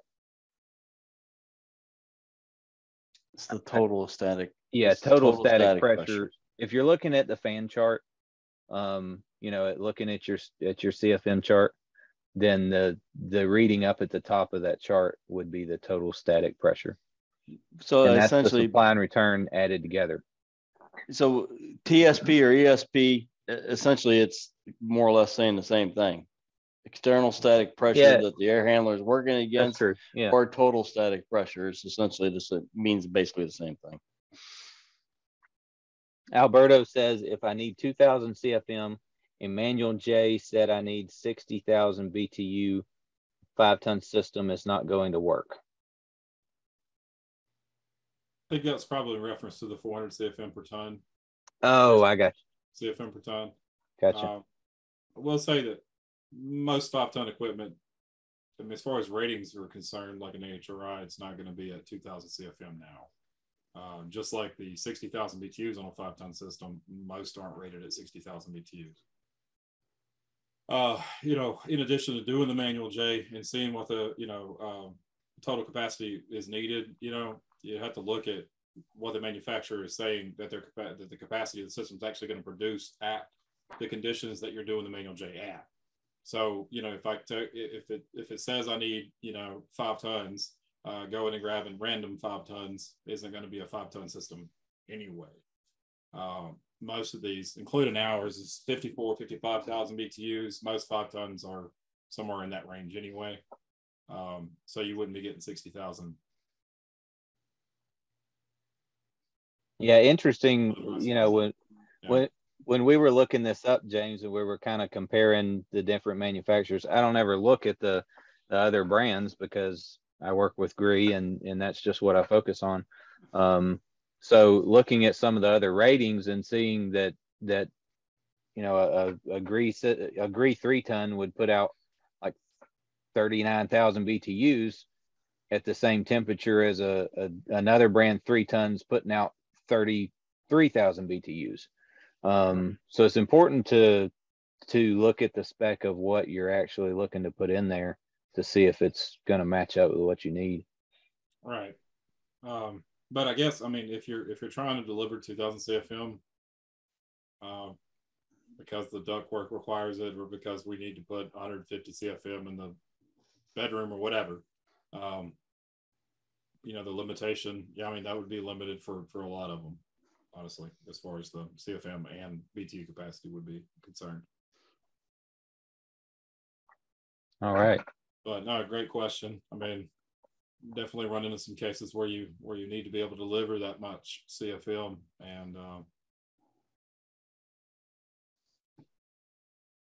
all right don't know what to do there grant grant says it's a real problem explaining to a customer that their duct work is terrible and the problem any tips for this conversation that's I'll a good that question. question. i like that i'll take that question go so, for it greg and i'm going to kind of go with it on a story on a system that, you know, I bid, I was gonna bid years ago. I'm going back probably 15 years ago.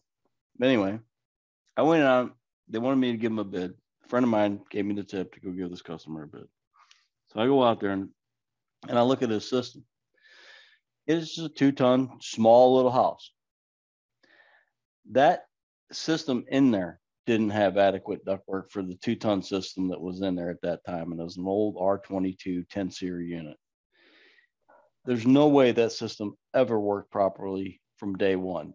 And yeah, it was 20 years old. How it lasted 20 years, I don't know. But the long and short, short part of the story was, you know, I was, this was a side gig for me at that time. And I'm like, I told the guys, look, I'm not a company. I don't have all these insurance policies and all that stuff. So I'm really just not interested in the job because you need major ductwork changes here to make the system that you have even work properly. And if I put a new system in here, I know it's not going to work. And I'm going to be forever embedded to it so I was talking to this customer on the phone when I decided because the other thing I did was heat load calculation. You know, I had a two ton system. Like, all right, well maybe I can get away with a ton and a half. I couldn't even get away with a ton and a half. It had to have a two ton unit. So the customer said to me, he goes, that's kind of surprising to me. I've had eight other bids and not one person said anything about the ductwork. And I was like, wow. I says, well, I'm not a big company and I don't have, you know, lawyers and insurance and all that kind of stuff. I says, but I can tell you this, anybody that puts a system in there with the ductwork that you have, you're going to have problems. And then they're going to come back out and tell you you need ductwork modifications to make the system work. So long story short story of it is that's exactly what happened. He paid one of those on contractors to put the system in. They did not change the ductwork and they come back out and then there was this big fight of who was going to pay for the new ductwork. That's exactly what happened with that job. So, mm-hmm. what I'm, I guess my my thing to you is, is you know, explain it to them somewhat like that. Say, you know, I don't want to be responsible for the system because you don't have adequate ductwork for it to function properly. So if you want me to do the job, this is what's going to take. And if you put the job in with that bad ductwork, no, you're going to be married to it. Because in the customer's might, eyes, it's equipment problem. Their ductwork's been there forever. Or or you might not you might not get the bid, but you might get the work after the fact. right. I know it's hard to walk away from jobs, you. but you don't want to. You also can't. You can't put yourself in a situation of putting in jobs that you know are not going to work right.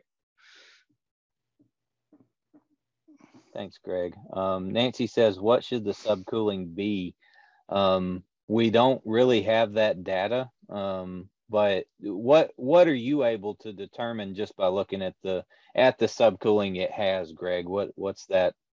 You know, what do you normally look for and what are you able to see just let's for instance 0.6 0.6 what was that kind of gearing you So- towards The point six. I mean, if I put a sight glass on there, and we don't use sight glasses anymore, because essentially what subcooling is is a measurement of the of the liquid is stacked up between that TXV and that condenser, Mhm.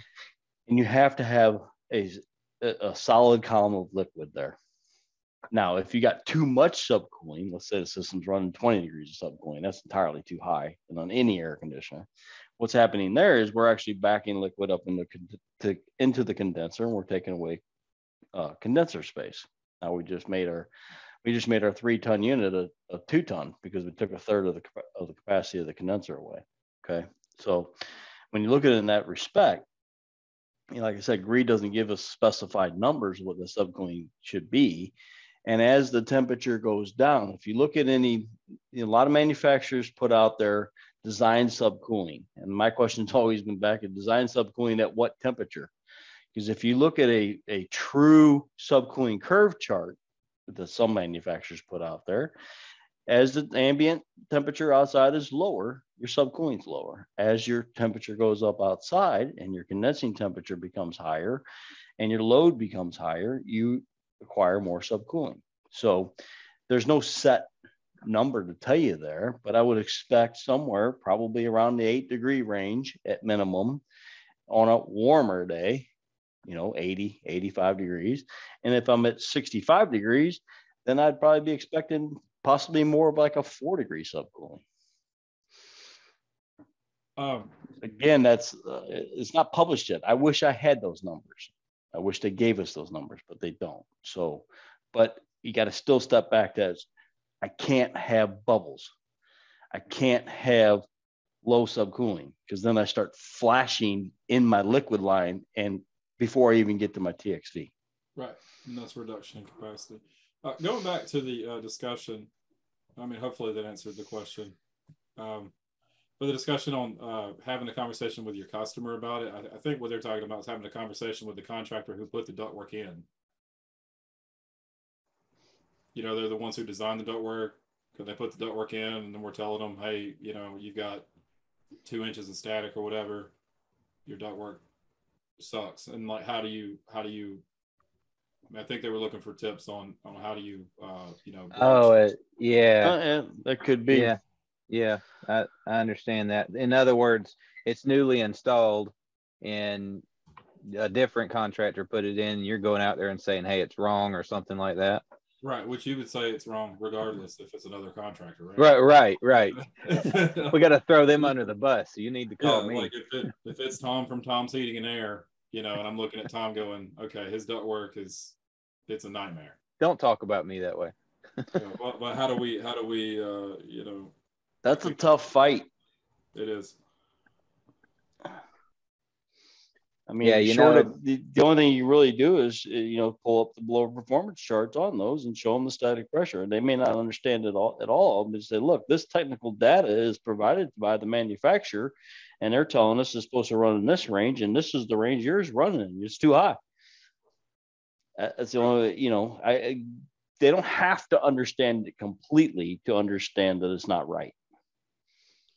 Right. Eh, But I guess, I mean, it's the same kind of conversation if you've got like a ductless mini split and it's, you know, two feet off the floor or it's upside down or whatever, you know, it's, it's always a tough conversation to have because you're just like, well, I mean, I- I know that it probably seems like we're constantly pointing at anything but the equipment being the problem. Uh, but the fact is, you know, when we're talking 20,000 systems, you know, have been installed and 19,900 of them are working just fine, right? we would take the manufacturing of the equipment as not being a variable in that formula that we were, we were trying to determine what is wrong. You know, if we can eliminate these other things first, then we can go back to the equipment and say, okay, there's there's something wrong with this particular system. But the numbers themselves just don't does you know the numbers don't lend themselves to to saying that we've got as it stands like a blower issue or a compressor issue or board issue or whatever it is. Um, the variables are what we have to look at first. You know, with a Flexx, there are far more variables than there are with a mini split system. At least God knows, hopefully, right? There's more variables. But like, you know, I've got ductwork, I've got length of ductwork and size of ductwork and what, you know, whether it was existing or it's brand new ductwork or whether it's, you know, dirty or I've got filter medias to add, I got humidifiers, I got electronic air cleaners, I got all kinds of different things, you know, halos and all kinds of stuff that I can add that would be additional variables on the installation of that equipment. It's no different than the site visit that I visited. I mean, I gave them nothing but excellent comments about their ductwork system. It was well built, it was well designed, the static pressure at 2000 CFM and the static pressure at 1700 and something CFM. Either way, it was not an issue the static pressure was not the problem on that job. And I commended them for that. I said, you guys did a bang up job on this duct work. And they really did. Uh, but as I said, as you've seen in those job checkout sheets, there was other things that was an issue.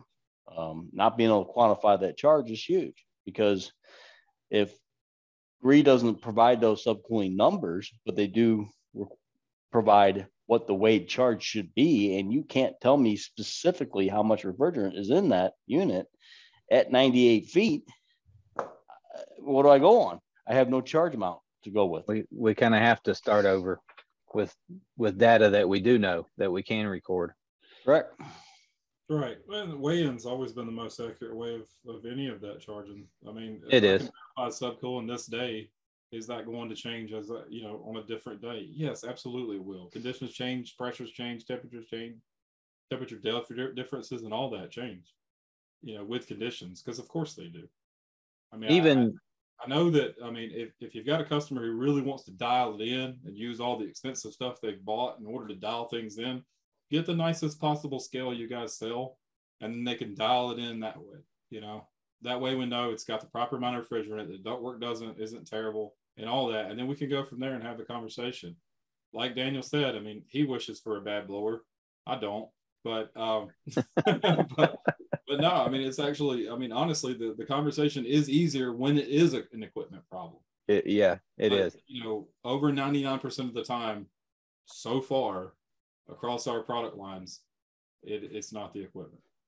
I'm gonna be honest with you. I really didn't care because if it was a motor problem, it was Daniel's problem. So I went down that job with a completely open mind. Just show me the data. Let, let the product manager in the factory worry about all that. That's yeah. right. Yeah.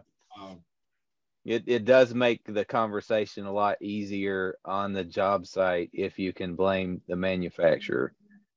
Yeah. Hands down. Well, I think temporarily. I think short term, it seems like it would be easier. But then you've also got to explain why you continue to sell that brand.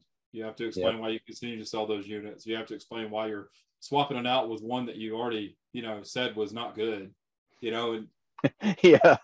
you know, I mean, today it might work great as far as an explanation, but if you're riding around with, uh, you know, uh, the company sticker on the side of your van or whatever, well, that's that's going to be a conversation you have to have in the future with that same customer. You yep. know, I thought you said they're garbage.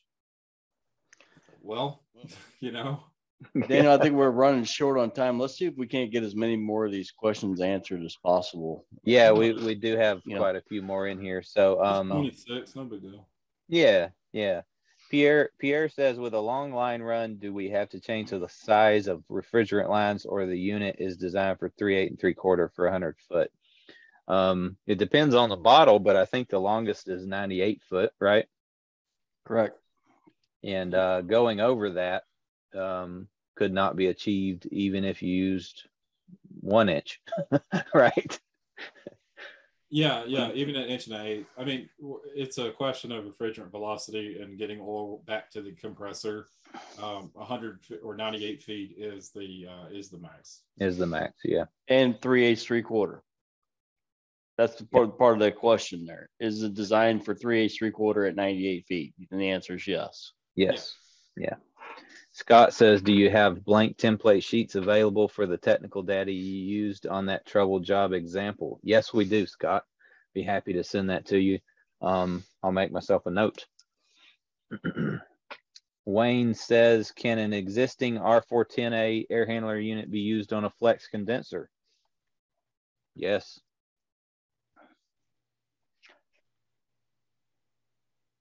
Uh, Bill says, thank you, everyone. Great presentation. Thanks, Bill. Thanks for joining us. Yeah, Um, appreciate that. Uh, Grant says, um, you want to read that? Sure. Why can the Chinese steal our technology, but we can't get a straight answer on subcooling for charge verification? Gee. Um, we Why we don't you didn't fly over there and find out? like this.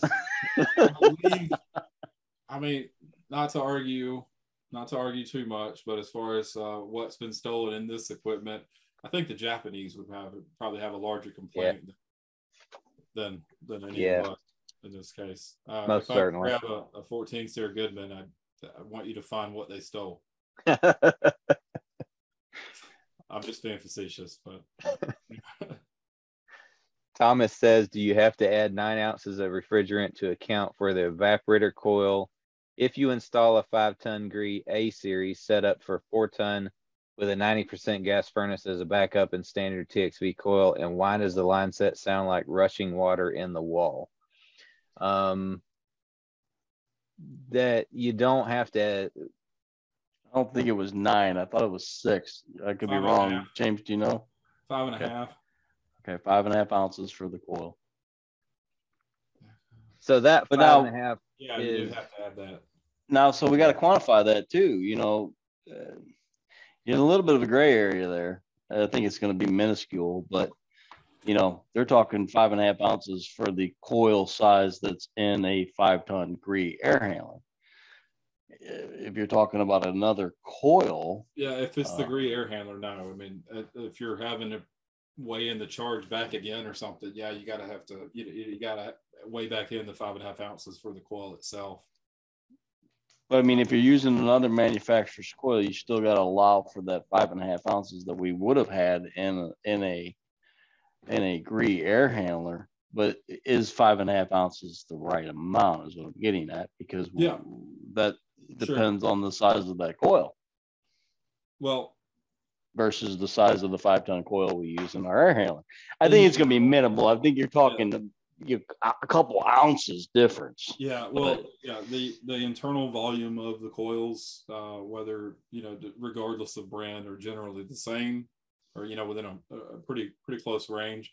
The only one that would be the most different would be a micro channel, and we do not recommend using a micro channel at all. correct There you go. Isn't that right, Greg? We do not recommend that. Right. Although I'd like to see it tested. Starting percentage or starting watts of the condenser. Ooh. What are the starting? Yeah. Thomas says when the condenser turns on, what is the starting percentage or starting watts? Super low. Super low. Very, very low. I don't remember it, all inverter systems don't really have a locked rotor because your compressor starts out slow and builds RPM. Same with your condenser fan motor. They don't just, you know, you don't have lock rotor where it's just bam and a whole bunch of amps at once. Yeah, it may con- it may depend a little bit on conditions, but what I've got is, uh, I mean, just from stuff I've tested, uh, one and a half amps at startup, and that's at minimum speed. So typically, minimum speed is somewhere around 15 hertz.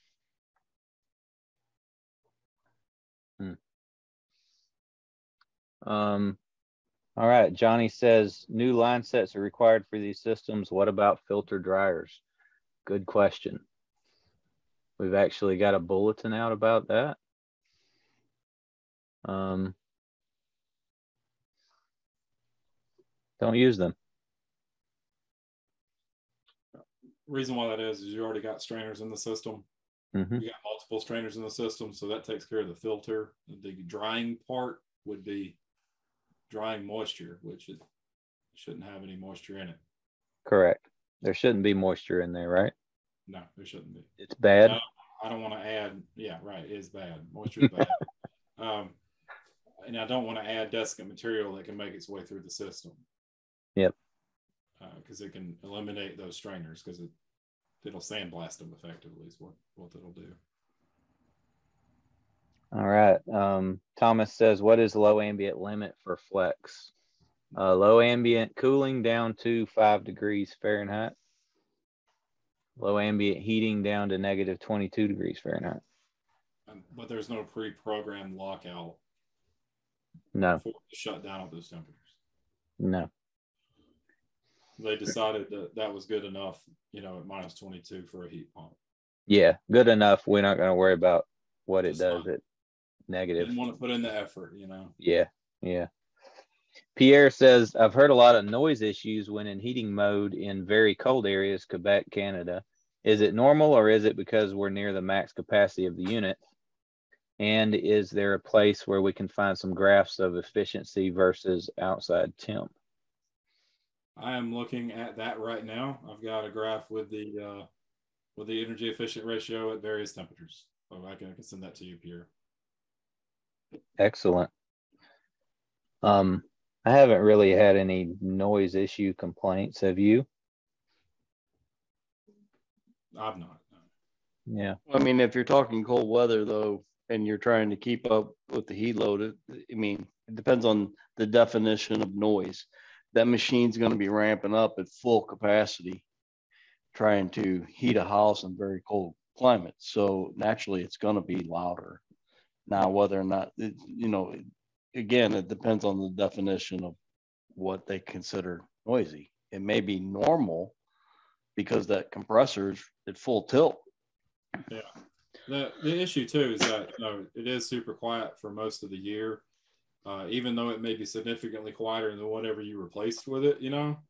Um, but the maximum dBA that we've got published, I think, is 58. Um, I believe, I mean, that's the that's the maximum noise, but that's going to put it at basically what a regular unit would sound like most of the time. But that's going to be, you know, at its maximum capacity, absolutely running as hard as it can. You know, maybe even shifting over into defrost. That's that's where your maximum level of sound is going to come from.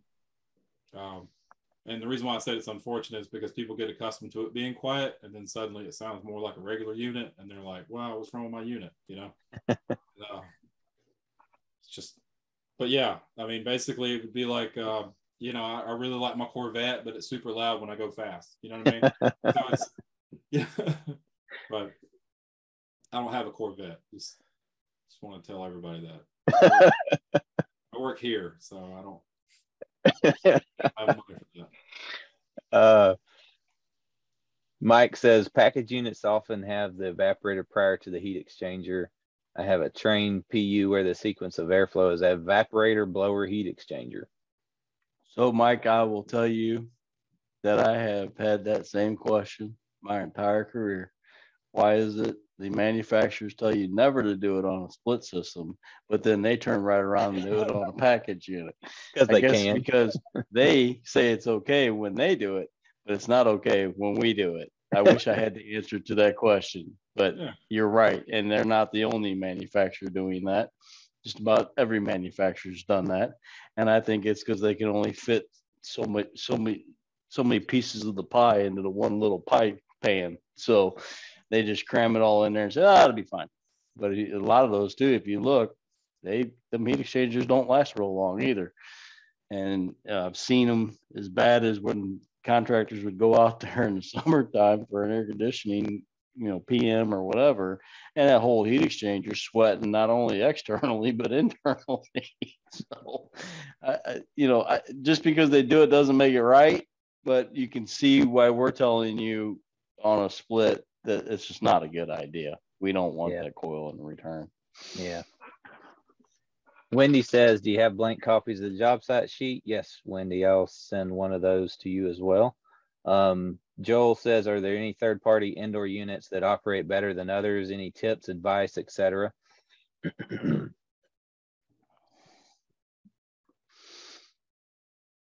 I would go with uh, with a tube and fin uh, coil.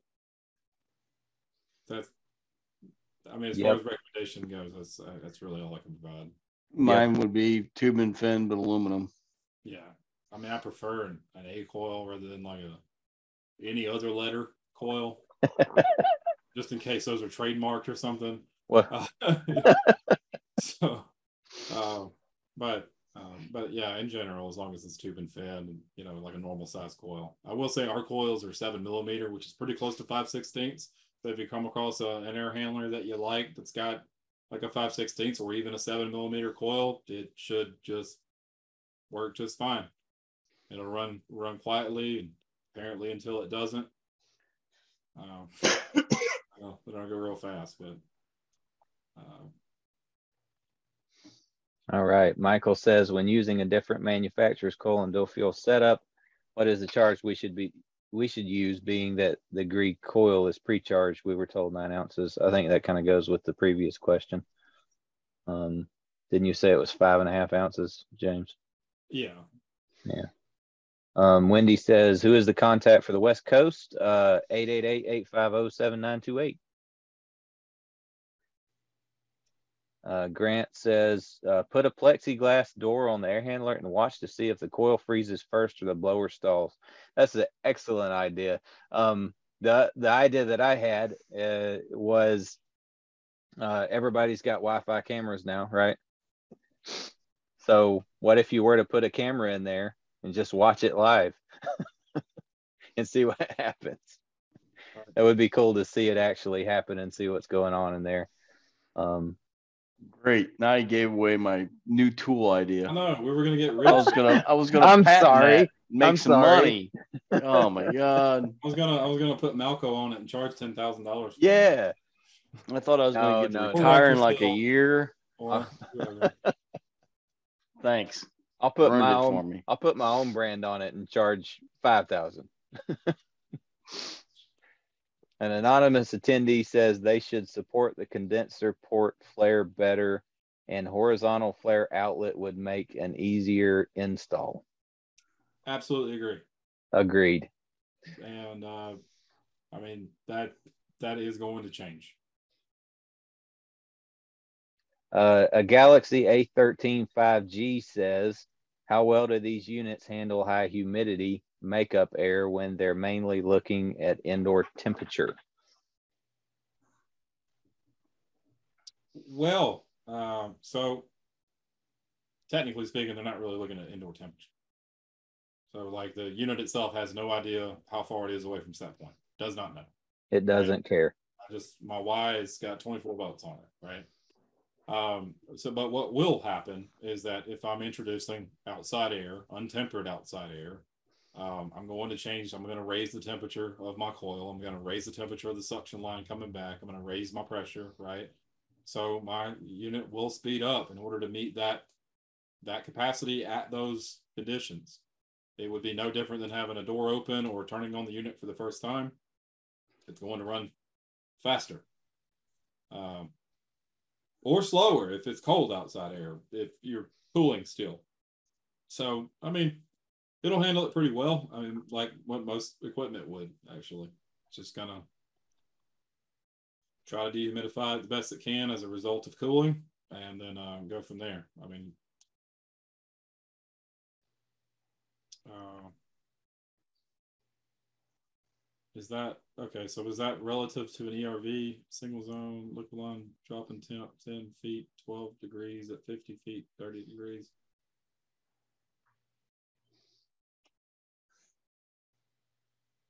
Sorry about that. I was tapping an answer. Um, So we'll just uh maybe we'll just on the phone on that one. um, which one? The the the following one? Yeah, uh, Mr. Mr. Berg there. Okay, gotcha. Please reach out to us, Wes. Um, I think there needs to be a little more content to those questions. Yeah. Um, John says, Mr. Contractor, you pre-installed the duct system according to whose air handler? I like that. Referring to our our ductwork question, you know, how do you deal with it earlier? Pierre says, thanks for the answers. Um, Wes will, uh, let's see, is that pertaining to the previous one? Yeah. Okay. Yeah. Okay. Uh, Thomas says, uh, why does line set sound like running water in the wall when running? Um, I haven't experienced that. Have you? No, but you know, if um, what would likely be the culprit? Uh, so like just like the water lines inside your wall that make noise, like when my shower comes on because I screwed them to the studs. Turns out they make things not to do that. Uh, you know, make a bunch of noise, but uh, you you have the presence of a gas in addition to the liquid, right? So I mean, you may find, and I've seen this with a couple other uh, pieces of equipment that we got to, if um, if the charge were low, you could have bubbles in your liquid line. If you got bubbles in your liquid line, you're gonna have vibration.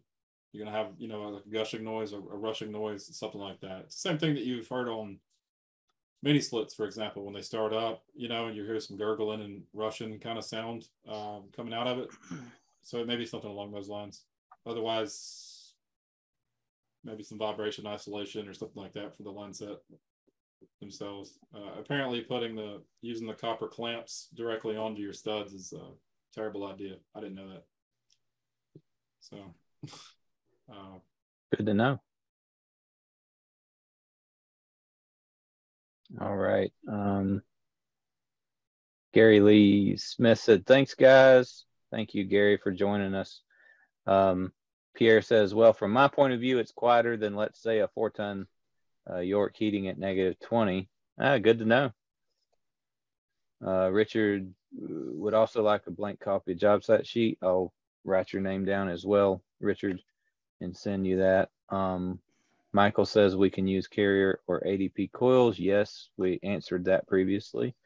Um, Thomas says, is the warranty 10 years on the condenser, even if it is installed with a non-Gree air handler? Um, the answer is if you're a Gree select dealer installing it and, and registering that product within the, the time period, then um, I believe that is a yes, right? Don't know if you're registering both condenser and air handler on that, so I don't know if that's a. I don't know if you have to register both. Uh, reach out to your local rep to to be sure on that. Um, I wouldn't want to say absolutely positively. I'd have to review the warranty information on the website to see. There's a few details that are a little different, um, depending on Gree select dealer, not Gree select, you know, that sort of thing. Uh, Michael says ADP. Uh, Chris says, where can we find the recorded session? It should be on YouTube within the next three to four years, um, or maybe weeks. well, we'll get it edited up and posted on the uh, YouTube Gree Comfort site. Um, Michael says, what was the answer? I'm not sure what he's talking about. On the ADP coil, carrier coils, or whatever. Oh. Yeah. Okay. Uh, John says if you use a Gree Flexx outdoor unit on an existing air handler 410A tube and fin, there's no B terminal at the air handler, and the wire from outdoor D terminal goes where? It Um, goes The nowhere. D. Um, yeah, so the air handler in that case would be running like it would in cooling. So it would just be blowing. So, you know, I think that goes along with the questions that you had earlier on the the B and D, which I did have that pulled up. Gotcha. don't that in. Um, it would be like the air handlers, a straight straight cooling as far as the air handler is concerned. So Right. uh, that would run like a normal system. So your Yep. D wouldn't do anything, and your B wouldn't do anything on the air handler anyway. Right. And then there's also a G terminal on the outdoor unit. Um, if you'll notice above it, there's no wire hooked to anything. So you're welcome to put a wire on there. It just doesn't do anything. Yeah, if you don't use the B and D on the air handler, it'll just the blower will continue to run during defrost and Right. all the, the operation. Right.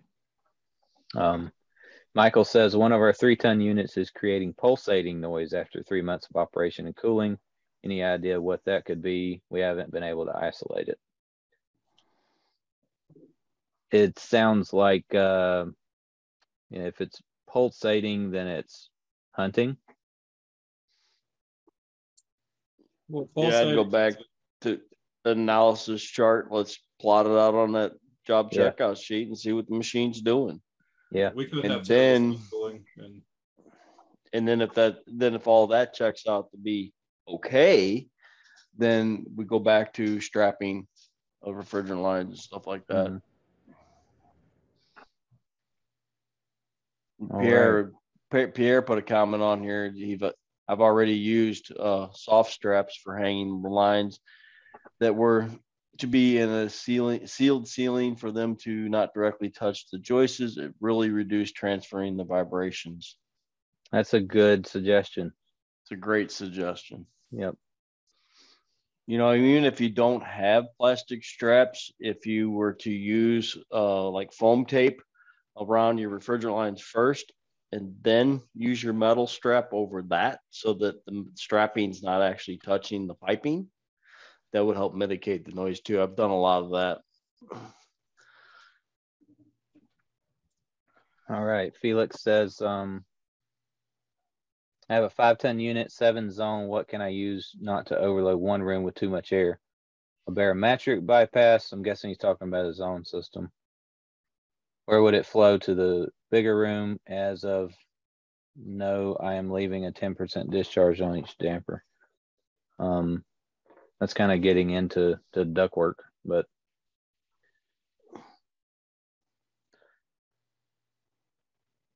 I think that's kind of beyond the scope of this training that's in this webinar. You're talking, you're getting it, you- we're getting into zoning questions and stuff like that, so. Yeah, we would still have to deliver, since it's a constant torque, we would still have to deliver, the, the amount of CFM that we would deliver would still have to be on that chart. right. Um, you know, how much that would be. Uh, you know, if you did ten percent across the board, the duct design, the duct design was, was sized for a certain CFM, ten percent of that is the amount of CFM you would deliver at a minimum. It, that minimum would need to be on that chart effectively at that static pressure setting. I like I like that. That makes a lot of sense. Um, Steven says, does Gree offer an indoor for those that want dual fuel, and what are the part numbers for the coils if available? There is a uh, a coil available, um, and uh, your local rep can get you all the information for that. Um, I'll make a note to see about part numbers and send to you, Stephen. Um, Mike says you're saying the unit ramps up to full capacity when it in in extreme cold weather. Is the compressor multi-speed? Yes, James? it is variable speed in one hertz increments. So there's uh, just a, a lot of speeds. A whole lot of speeds. Yeah. So if you had one, let's say, set up on a training cart in a in a conditioned space, uh, you're probably going to see it just sit there running at that same capacity, or basically that same capacity with that same speed the entire time it's running. You may see it go up or down a couple hertz or whatever, but since the conditions aren't changing, the compressor speed's not going to change. Um, but so yeah, if it uh, is super cold, you'll see it ramp all the way up to its um its maximum speed. But if it's capable of hitting its maximum capacity at a lower speed, it will do that. Uh, Paul is asking for job site. See, I'll send that to you as well, Paul. Um, also on a different off topic, he says Gree's adjusting is GRE. How is Gree adjusting, modifying the new 2023 DOE requirement guidelines? Thanks again. Um, there will be a, well, technically, most everything that we sell meets the new requirements, right, James? Uh, yeah. So uh, the Flexx specifically, the compressor itself is rated for R32 and R410A right now. Uh, so pretty much everything is going to go to R32 as it stands. Uh, there's been some delay on the refrigerant change for some specific products. Um, but yeah, you'll end up with uh, with R32 Yeah, but case. I, I think that's more 2025. 2023 is the SEER two. Oh yeah, so um, um, ninety something percent of the equipment that we sell already meets SEER two. Uh, so they just they basically will take existing data that they already have and apply that with a calculation in SEER two and, sub- and submit that data. They're in the process of submitting that data currently uh, to AHRI in order to, to, to be able to, you know, publish the SEER two data. Um, any piece of equipment that we currently sell uh, that uh, doesn't plan on meeting the minimum requirements for SEER two, um, well, I think I'm not actually sure if we've got anything that doesn't meet the requirements for SEER two, but um, anything that wouldn't, you know, we would just see a new model. Um, it can be a different testing procedure and same equipment, or it can be different equipment for that testing procedure. So there's basically two options when it comes to SEER two. All right. Well, that kind of wraps it up. I've got a few more uh, requests for a job site sheet. I will send those out. I've got everybody's uh, name on the list that requested it, and feel free to reach out to me if you'd like uh, me to send that to you. Um, and that's it. So thank you everyone for joining us. Uh, we've still got 66 people hanging in there. So thank you. Thank you all. That, that was a great turnout. It Thank was a great Greg, turnout. James. Appreciate it. Thank y'all for taking the time out of your schedule.